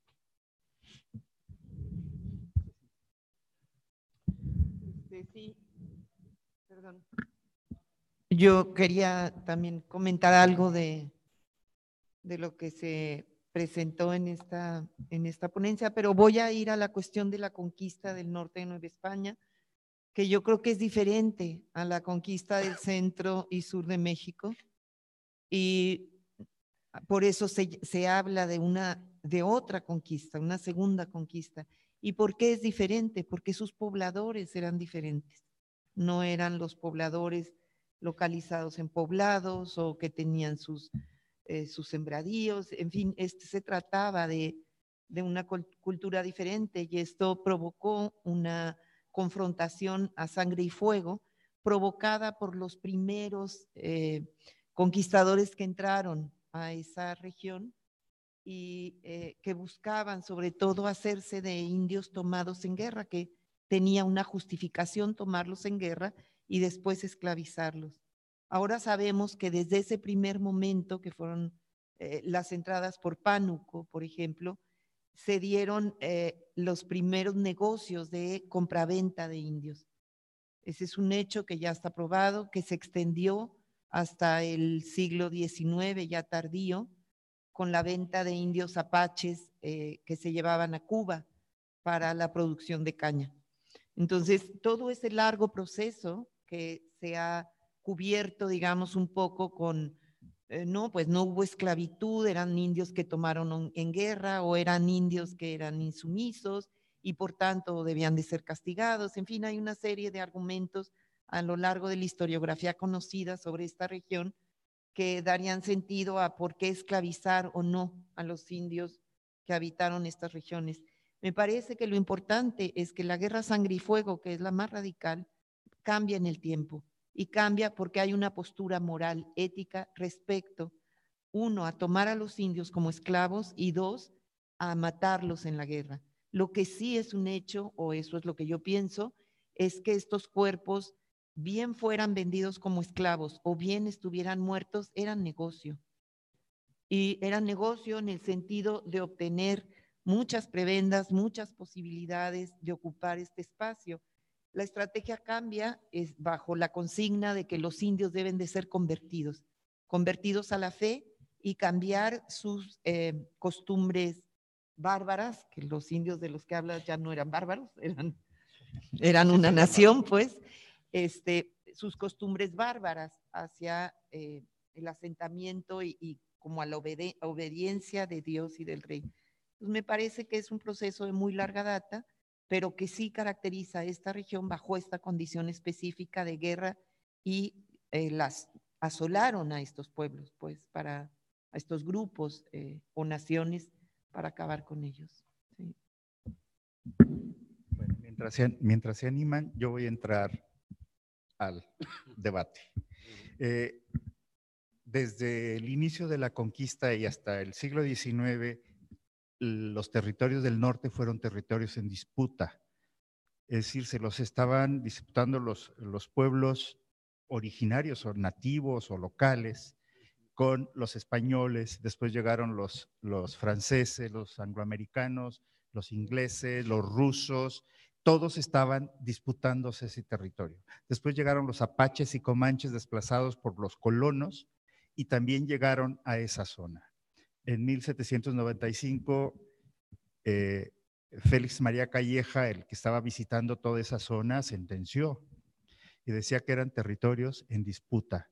Y la nación, y decía que la nación quisiera del vecino un soldado e impusiera la religión, se iba a quedar con ellos. Entonces esto es, es muy interesante cómo esos territorios se los están disputando otras naciones, pero también hay otra historia ahí eh, incorporada que forma parte de ello. Y yo le quisiera hacer una pregunta a Cecilia cuando habla de los tiempos de paz y los tiempos de guerra. Generalmente en, este tipo de sociedades hay momentos para la guerra y hay momentos para la paz. Obviamente estoy de acuerdo que tiene que ver con negociaciones, pero también tiene que ver con cosechas, con los ciclos este, agrícolas, de el acopio de víveres y demás para hacer la guerra, de lo contrario no comería. Y eh, yo, en la exposición que, que, ha hecho Martín, pues nos permite reflexionar eh, de una manera más profunda. Y ahí sí, eh, eh, la, la primera referencia que yo tengo sobre un modelo de nación, la primera el primer planteamiento que se hace de república como forma de gobierno para México es de 1816. Eh, lo mismo lo está planteando Guadalupe Victoria en, Veracruz que Vicente Guerrero en el sur. Ellos ya están hablando como república en oposición o contraposición a la monarquía. Eh, durante la guerra de independencia, lo que, se ha demostrado es que si bien los realistas eh, controlaron los territorios a través de las tropas expedicionarias y demás, eso no quiere decir que los insurgentes hubiesen perdido la guerra. En todo caso, fue una insurgencia contenida, que a partir de 1820 eh, comienza una etapa distinta. Eh, con el plan de Iguala, cada pueblo interpreta su emancipación de España y vienen los dos proyectos de, de Estado el planteado por Agustín de Iturbide como una monarquía constitucional y los republicanos. Este va a ser un problema que no se va a resolver durante la guerra de independencia, que es una guerra que se va a prolongar hasta 1867 con el triunfo de la República. Es decir, yo lo que propongo es ver este periodo en un, en un periodo mucho más amplio para entender todo el proceso. La guerra con Estados Unidos fue un evento muy importante en un contexto de conflicto eh, en el que la sociedad mexicana estaba dividida. Pero desde el momento, después de la independencia, estuvieron divididos, enfrentados y peleados.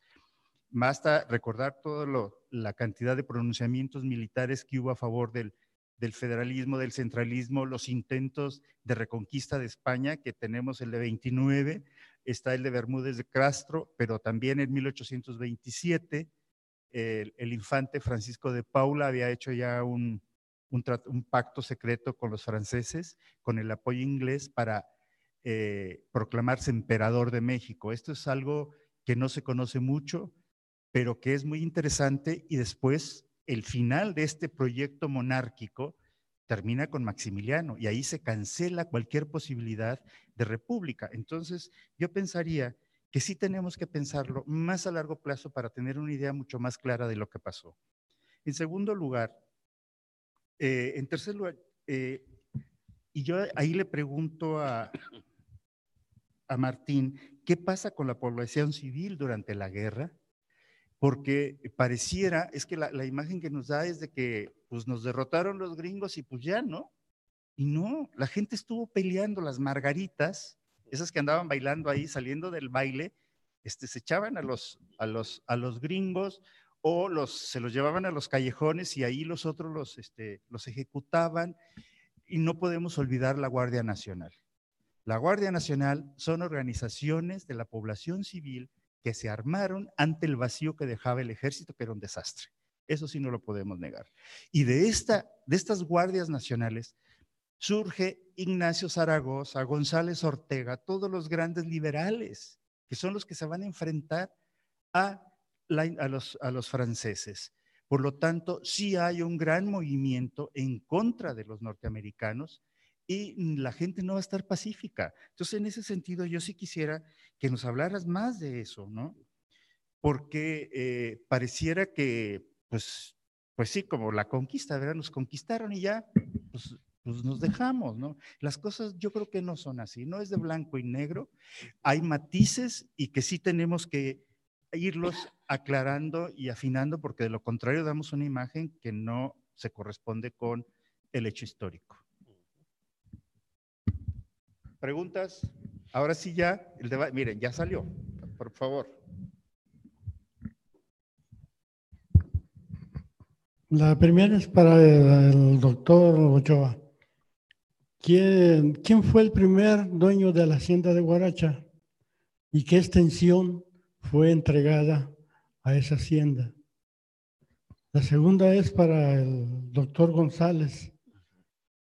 Este, Estados Unidos nos dejó lo que quiso. Porque, ¿no? bueno, eso les quería preguntar.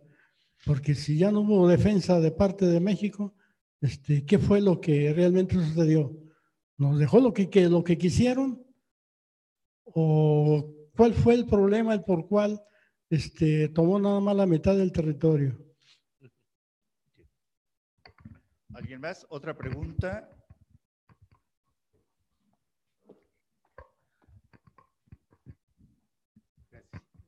Eh, es para el profesor Álvaro Ochoa. Es una pregunta sencilla, pues. La población de Guarachita en el tiempo referido no se conocía como Villamar. ¿Alguien más quiere intervenir? Sí, por favor, ahí hay una, otra intervención. Dos más.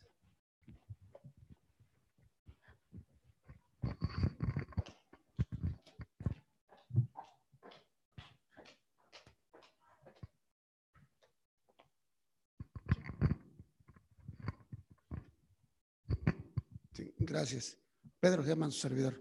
Mi pregunta es para la, para la doctora Cecilia. eh, Una pregunta muy sencilla, doctora. Eh, en, la, en la creación en el siglo XVII y XVIII de los, las misiones y presidios, movilizaron eh, pe- personal, principalmente las caltecas, familias enteras, con todos sus ganados, y se establecían, por ejemplo, en el Paso del Norte, en lo que es hoy Ojinaga, Chihuahua, en Chihuahua, en Parral, en Zacatecas, en Matehuala, ¿no? entre otras que tengo conocimiento, por, yo he andado por allá, por, por eso he pasado. Eh, yo soy nada más lector. Pero este, mi pregunta es de, independientemente de, los ganados que le, posiblemente les daba la corona, ¿tenían algún otro beneficio eh, por el hecho de estar ya radicado permanente? Por ejemplo, los que eh, radicaron en el Paso del Norte, pues ya se quedaron a vivir ya con, con todo y su, y su descendencia. Pero mi pregunta es si eh, tuvieron otro, otro beneficio por parte de- del virreinato, el hecho de, de estar pues, recibiendo combates de, de- de- de- grupos rebeldes, de, de los guachichiles, entre otros tribus salvajes, pues, pues, los llamaban salvajes, pues la corona, sabemos que son, son este, culturas diferentes, pero sí tuvieron incursiones militares contra los presidios, pero tuvieron algún otro beneficio aparte de sus ganados y tierras. Gracias. Por favor.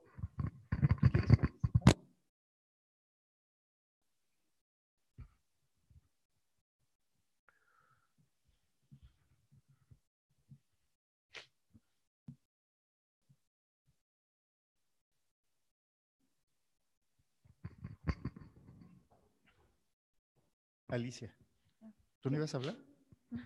Bueno, adelante.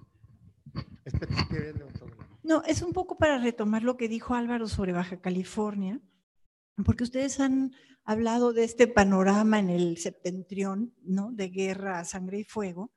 Y el caso de Baja California es verdaderamente notable y excepcional porque mm, fue un, digamos, un estado de excepción en que los misioneros pudieron entrar sin, eh, sin presidios. Entonces, eh, llevaron algún soldado, cada misionero tenía un soldado, sobre todo después de la, de la rebelión de los indios del sur de Baja California, pero el sistema que se organizó fue equivalente al del Paraguay, o sea, misiones que estaban gobernadas exclusivamente por los jesuitas.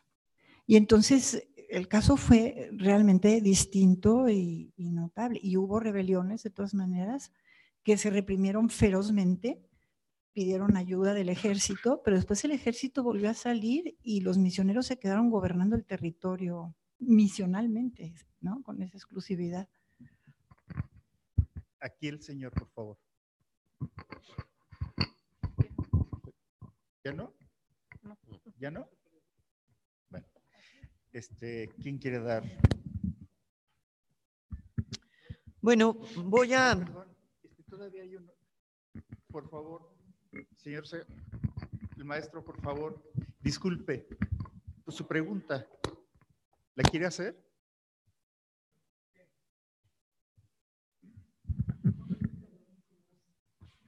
pero porque nos, no sé si tengan miedo o tengamos miedo a hablar. Yo pienso que los Estados Unidos que traían la cultura de eh, Inglaterra, traían unas ideas muy especiales ya y empezaron a intervenir desde la independencia de México. A Hidalgo y Allende los llamaron a la calle de las ratas, hoy Bolívar, para meterles la masonería. Y por eso Hidalgo cometió sus errores en Morelia y en Guanajuato. ¿Quiénes eran los cultos? Los españoles. Había que acabar con ellos para manejar a la raza azteca a su gusto. Y respecto a la guerra de Estados Unidos contra México, un héroe, Miguel Herdo de Tejada, le dijo al general Scott en plena Ciudad de México que de una vez se llevaran todo el territorio. Y el general Scott ya sabía que venía la guerra de secesión. En 1848 ya tenía idea de que venía la guerra de secesión de Estados Unidos y con la indiada del centro, los sureños se ponían a la par y esa fue la salvación. Todos los mexicanos no tenían mucha cultura y eran unos traidores de los demonios, todos. Gracias. Bueno, este, voy a comentar eh, tres cuestiones que se mencionaron. Empiezo por la, la que comenta Juan sobre los pactos de paz o la intermitencia entre paz y guerra para la reorganización o toma de estos espacios del norte eh, de Nueva España. En realidad, y, y, eso va un poco también con la pregunta de si los jesuitas o los franciscanos, hacia la parte noreste de la Nueva España, vamos a encontrar que son culturas nómadas en general. Son grupos que se mueven constantemente en un territorio inmenso que abarca desde el norte de, o desde Zacatecas, digamos, por poner una frontera, y se mueve constantemente hasta Texas y la Luisiana. Son grupos que van de un lado al otro todo el tiempo, no están estables. ¿Por qué? Porque son culturas nómadas y su territorialidad define su propia sobrevivencia. Son pequeños grupos, algunos de ellos, otros son mayores, dependiendo del tipo de cacería que realizaban o del tipo de recolección que realizaban. Y eso está en, un libro que escribí, que eh, pueden leer dos de ellos, dos libros, en donde se habla de esta territorialidad, cómo se organizan territorialmente. Al entrar eh, los españoles o los europeos a conquistar estos espacios, va a haber una respuesta contra la invasión de sus territorios, porque de esa movilidad viven. Y cuando esos territorios se alteran, se altera su propia sobrevivencia. Son grupos muy vulnerables, lo decía yo al inicio de la, conferencia. Muchos de ellos son grupos pequeños que se mueven no más de 10, 15 personas de un lado al otro realizando sus actividades. En tiempos de, de verano o en tiempos de invierno se reúnen con otros grupos e intercambian mujeres y algunos productos. El intercambio tiene que ver con una forma de negociar los espacios porque no se pueden reproducir entre ellos mismos. Y ese es un aspecto pues eh, común a estos grupos.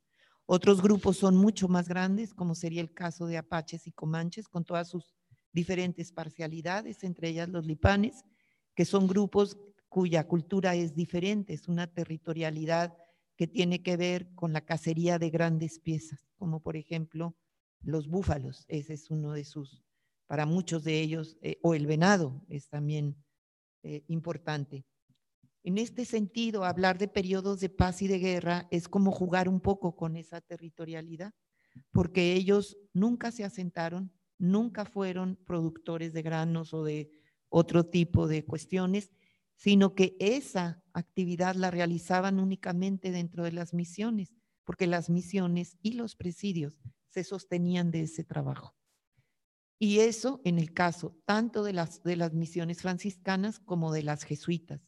Lo que pasa en Baja California, y no exactamente en las Californias, sino en Baja California, es que vamos a encontrar grupos con características culturales casi idénticas a las del noreste. Es decir, nómadas, cazadores, recolectores. Son grupos pequeños y cazan pequeños animales. Ahí no hay animales grandes, no hay búfalo, no habrá venado o habrá tapir, pero son, son grupos que se, tienen una movilidad más restringida. Mientras menos es su cacería, más restringida su movilidad. Y esos grupos fueron durante mucho tiempo ignorados.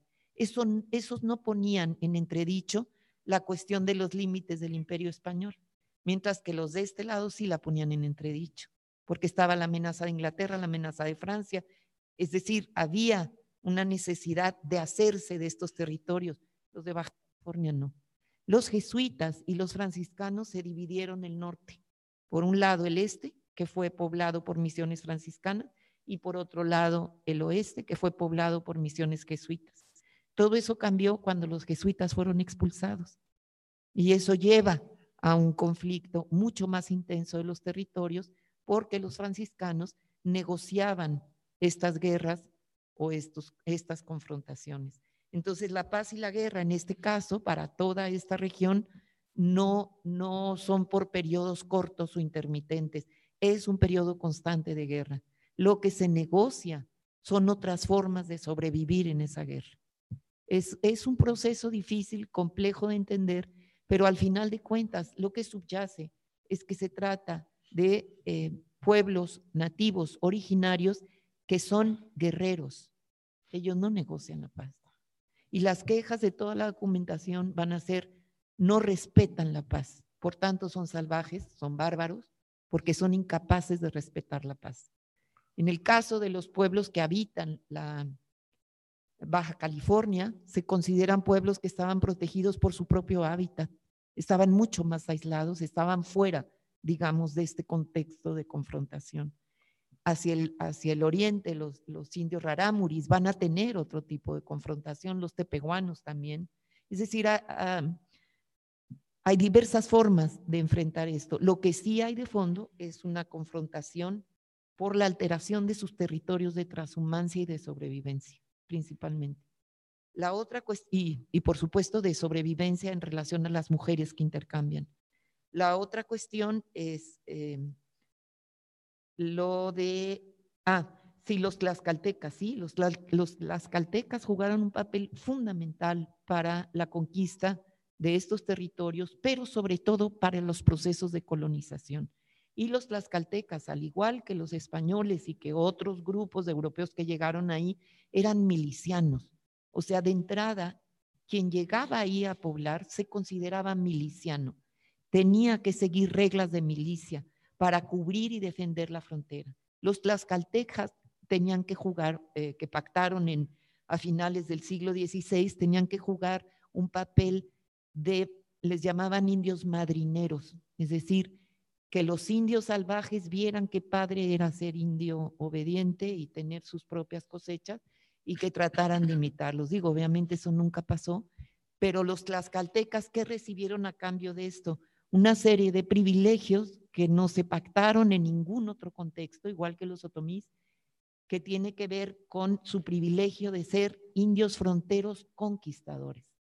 Y eso suponía, entre otras cuestiones, que podían montar a caballo, podían usar lanza y adarga, podían tener eh, sus propios templos y sentarse en la parte frontal, podían administrar a sus propios párrocos. Es decir, la fuerza que logran tiene que ver a su, papel de eh, conquistadores. Y entre otras cosas, y esto está trabajado pero poco se menciona, eh, podían producir vid. Y las vids, ah, la, producción de uva para el vino, se reservaba solo para España porque era un comercio muy importante para traer acá. Y sin embargo, los tlaxcaltecas eh, crearon una producción vitícola muy importante en el área de Parras, en Coahuila, entre otras cuestiones. Y por último, eh, la idea, no, creo que eran las tres que, que se habían comentado. Es lo que puedo.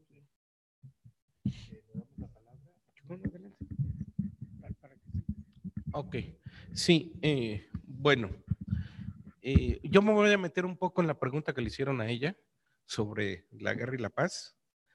Em, hay una relación constante entre guerra y paz, en, sobre todo para el siglo XVIII. Eh, hay comercio con los llamados indios bárbaros. Los hispanos le compran esclavos a los comanches. Eh, eh, les compran caballos, porque los comanches tienen más y mejores caballos que los propios hispanos. En una ocasión, mm, hay un caso en 1824, el Presidio de Paso del Norte le roba, los apaches le roban los caballos. Entonces van a hacer una campaña en contra de los apaches. Pero no hay caballos para comprarle, los únicos que los tienen son los apaches. Entonces van con los apaches, les compran caballos con los que el año siguiente van a hacer una campaña en contra de los apaches. O sea, es una, es, parece un, un círculo un poco perverso, pero es, es una relación complicada y una estira y afloja entre guerra y paz, que se repite una y otra y otra vez. A veces parece un juego perverso, pero no, pues esa era la situación normal de, en muchos lugares. Ahora, hay que irse por regiones para entender con precisión este, cuáles eran las actitudes. Em, ¿Qué hizo la población civil en, la guerra? Bueno, primero, sí, efectivamente es más rico ver eh, estos procesos eh, ideológicos en una forma más amplia, pero bueno, a veces tienes que circunscribirte a, a espacios y a puntos muy específicos. Eh, en este sentido, la primera vez que se menciona la República de México es en 1814, en la Declaración de Independencia de Texas, que antecede a la a la, los, eh, a la declaración hecha por Morelos. Ya se menciona ahí la República. Bueno, pero es más de lo mismo. Ahora, ¿qué hizo la, la población civil en la guerra? Y ahí hay que irnos por regiones y por tiempos. En muchos lugares quedaba claro que los, eh, que los mexicanos rechazaban a los invasores. Eh, en los lugares donde se corrió el peligro eh, que se pudieran ser integrados a Estados Unidos, se levantaron. Se levantaron en Baja California Sur, se levantaron en Nuevo México, se levantaron en, en, eh, en California, porque ahí sabían que podían ser absorbidos. Y aunque no les quedara muy claro qué era eso de ser mexicano, les quedaba muy claro que no querían ser gringos. Clarísimo. Entonces, tenemos esas, este, eh, esas reacciones. En otros lugares, eh, la resistencia popular es, sigue por meses y meses y meses, eh, pero también hay situaciones paradójicas. En Nuevo León, el gobernador declara que se crean las guerrillas en contra de la intervención norteamericana y trata de organizar a grupos de personas que estén hostilizando a los soldados norteamericanos. Meses después, el mismo gobernador dice, ya estuvo bueno de guerrillas. Se, clausuran las guerrillas porque se dedicaron al bandolerismo. Entonces, hay actitudes muy distintas, sí, hay resistencias, sí hay acomodos. Es muy difícil em, tendrías que irte a localidades, a regiones muy específicas para poder decir la gente de aquí en general hizo esto. Pero ese, de eso se trata, eso es algo que, tenemos que hacer este, con mucha claridad. Pero hay de todo como en botica. Sobre si Estados Unidos le dejó a México lo que quiso, bueno, no, no fue tan así. Ciertamente México eh, estaba, había perdido la guerra con toda claridad. Pero em, había consideraciones prácticas. Estados Unidos eh, lo que más le interesaba era un territorio con, poca población y efectivamente los territorios perdidos en la guerra tenían eh, escasa población. Le hubiera gustado a Polk un poquito más Baja California, tal vez Sonora, pero con en la mitad del territorio, digamos, que se conformaron. Em, también hay que decir que eh, había en Estados Unidos un cierto grupo de un partido político Hui que estaba ya en descomposición, pero que se opuso a la guerra. Hubo sectores religiosos puritanos que se opusieron a la guerra. Y había muchos pensadores que escribían claramente eh, que esa era una guerra injusta incluso para los parámetros de la época. Entonces, eh, no es que Estados Unidos nos dejara vivir, sino que tomó realmente lo que le convenía y este, no tomó más territorio por la complejidad que, eso le podía sugerir. Cuando necesitó más territorio, como la mesilla, pues lo compró sin mayor problema. Pero es eh, lo que decía este Melchor Ocampo, que no era exacto, eh, tiende a pensar, o sea, nos da a pensar lo bocabajeados que estaban los mexicanos en esa época, ¿no? Vencidos, sin plan, pesimistas, este, pero no, México aún derrotado tuvo sus, eh, sus elementos de defensa. Este, yo quisiera rápido y me meto aquí eh, sobre esto de que se tiene que hacer el trabajo de ver en las comunidades, en los pueblos, en los lugares que pasaba, creo que el trabajo está hecho y, es un trabajo que ya va en su segunda edición, que es el coordinado por Josefina Zoraida Vázquez, está publicado en el Fondo de Cultura Económico ya. Eh, no, México, al tiempo de su guerra con Estados Unidos, 1846-1848, es el que conozco y quería comentar sobre ese, que es en donde se trabaja de manera particular qué estaba sucediendo al tiempo de la guerra en las diferentes regiones de México y cómo se percibía y cómo se discutía si la guerra sí, si la guerra no, si nos quitaron, si nos pusieron. Entonces, es un trabajo que a lo mejor hay que volver a ver. Pero previo está el de Isabel Herrera, de México en Guerra. Salieron al mismo, al mismo tiempo. No, salió antes el de Isabel. Cinco meses, Lío, por favor. Y, y por último, hay una, una, anécdota dentro de mi familia de eh, un hermano de mi abuela que era muy simpático y le preguntaban, bueno, ¿y por qué México nos quitó, por qué Estados Unidos nos quitó esta parte del territorio? Dijo, porque por avanzosos, ¿verdad? Porque nos quitaron todo lo verde y lo pavimentado, lo demás no lo querían. en los anacronismos de la historia. Bueno, sobre, sobre Guaracha, hay, hay, un libro de Heriberto Moreno, eh, Haciendas de Tierra y Agua, porque la ciénega, pues, era ciénega, la parte baja, y la, que prácticamente se, utilizaba era la parte alta, sobre todo para el ganado. Eh, la primera familia así que tuvo en sus manos este gran latifundio fue la familia Andrada. Siguió la Villar Villamil. De la Villar Villamil eh, se desprende la parte de Buenavista, que ahora es Vista Hermosa, para los Castro Osores, de ahí a los de la Mora, por eso la Casa de la Barca la Moreña, y de esa familia de la Mora viene Velarde de la Mora, el burro de oro. Ya seguirá Martínez Negrete después, por aquel lado. Y por este lado eh, es eh, los Andrada, los Villar Villamil, y en la subasta la, consigue Victorino Caso, que es el hombre que le da pues eh, un uso moderno pues para su tiempo. Es, finales del siglo XVIII dentro de la política borbónica de, presas y saber aprovechar el, espacio y todo eso. y, y, ahí se mantiene en línea directa de los Jaso Moreno hasta Diego Moreno, el que acompañó al gobernador Lázaro Cárdenas. No sé si contesté mi familiar cieneguero. Y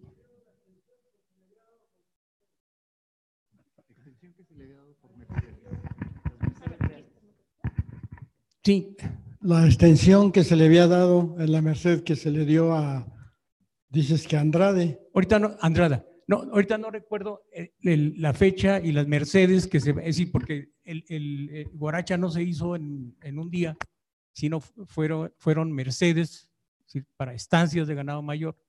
Se fueron juntando y, y hacer el, gran latifundio. Eh, primero eh, mencionábamos de, del libro de Heriberto y don Luis González y González en Pueblo en Vilo, es decir, da pelos y señales de esta porque es justo la parte alta de donde nace San José de Gracia.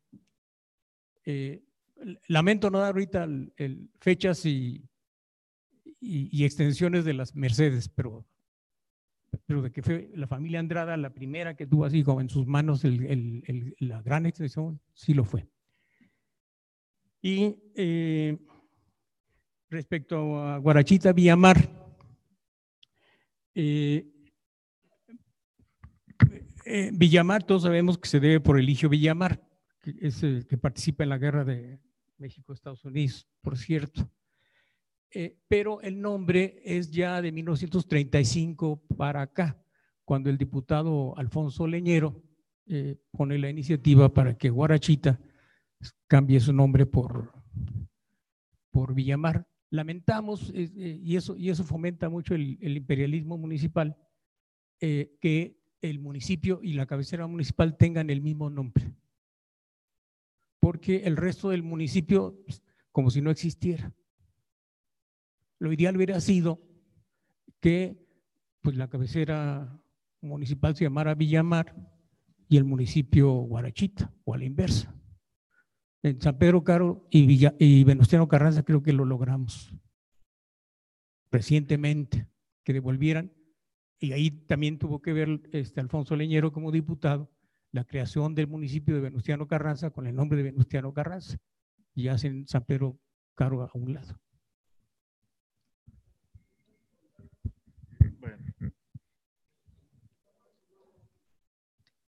¿Alguien más? Ah, Quiero nada más hacer un comentario.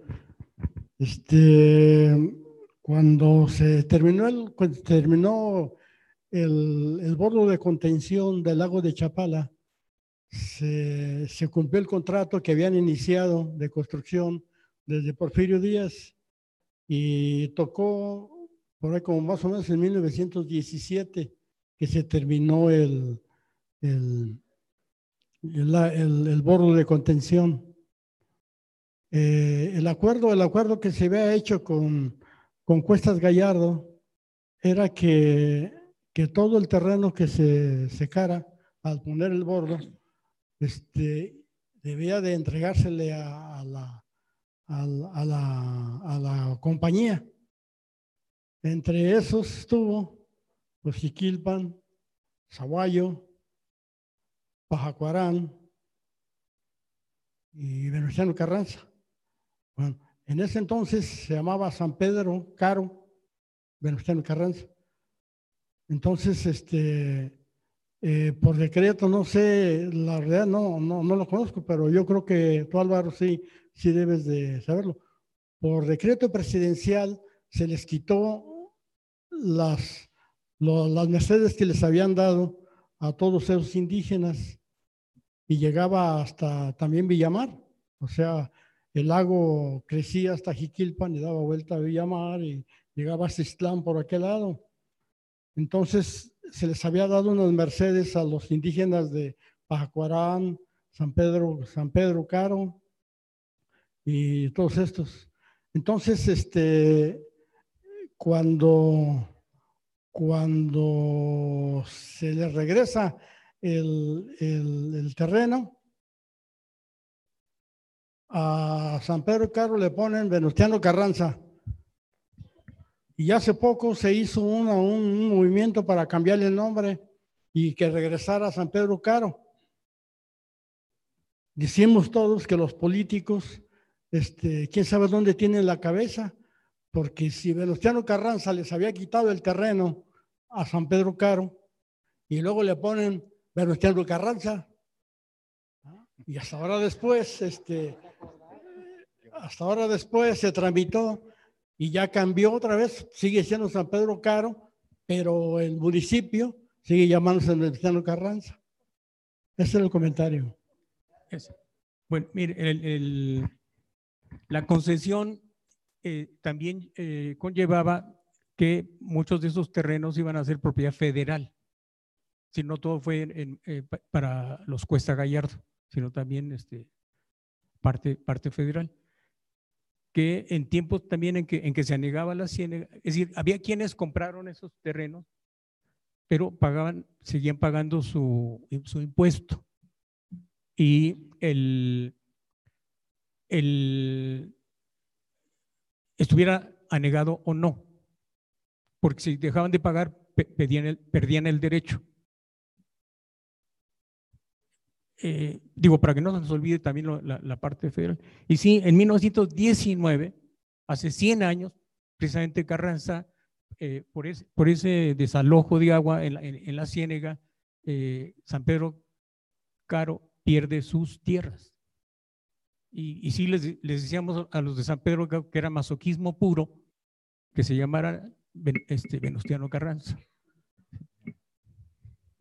Muchísimas gracias. De esta manera terminamos la sesión de esta tarde.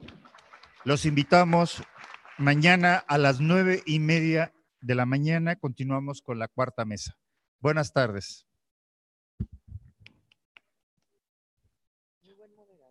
Ja, No, me gana la pasión. Qué bárbaro. No te mediste. Voy a echar a maestra, vas a ver. Qué bueno que no estaba aquí. no se defendieron.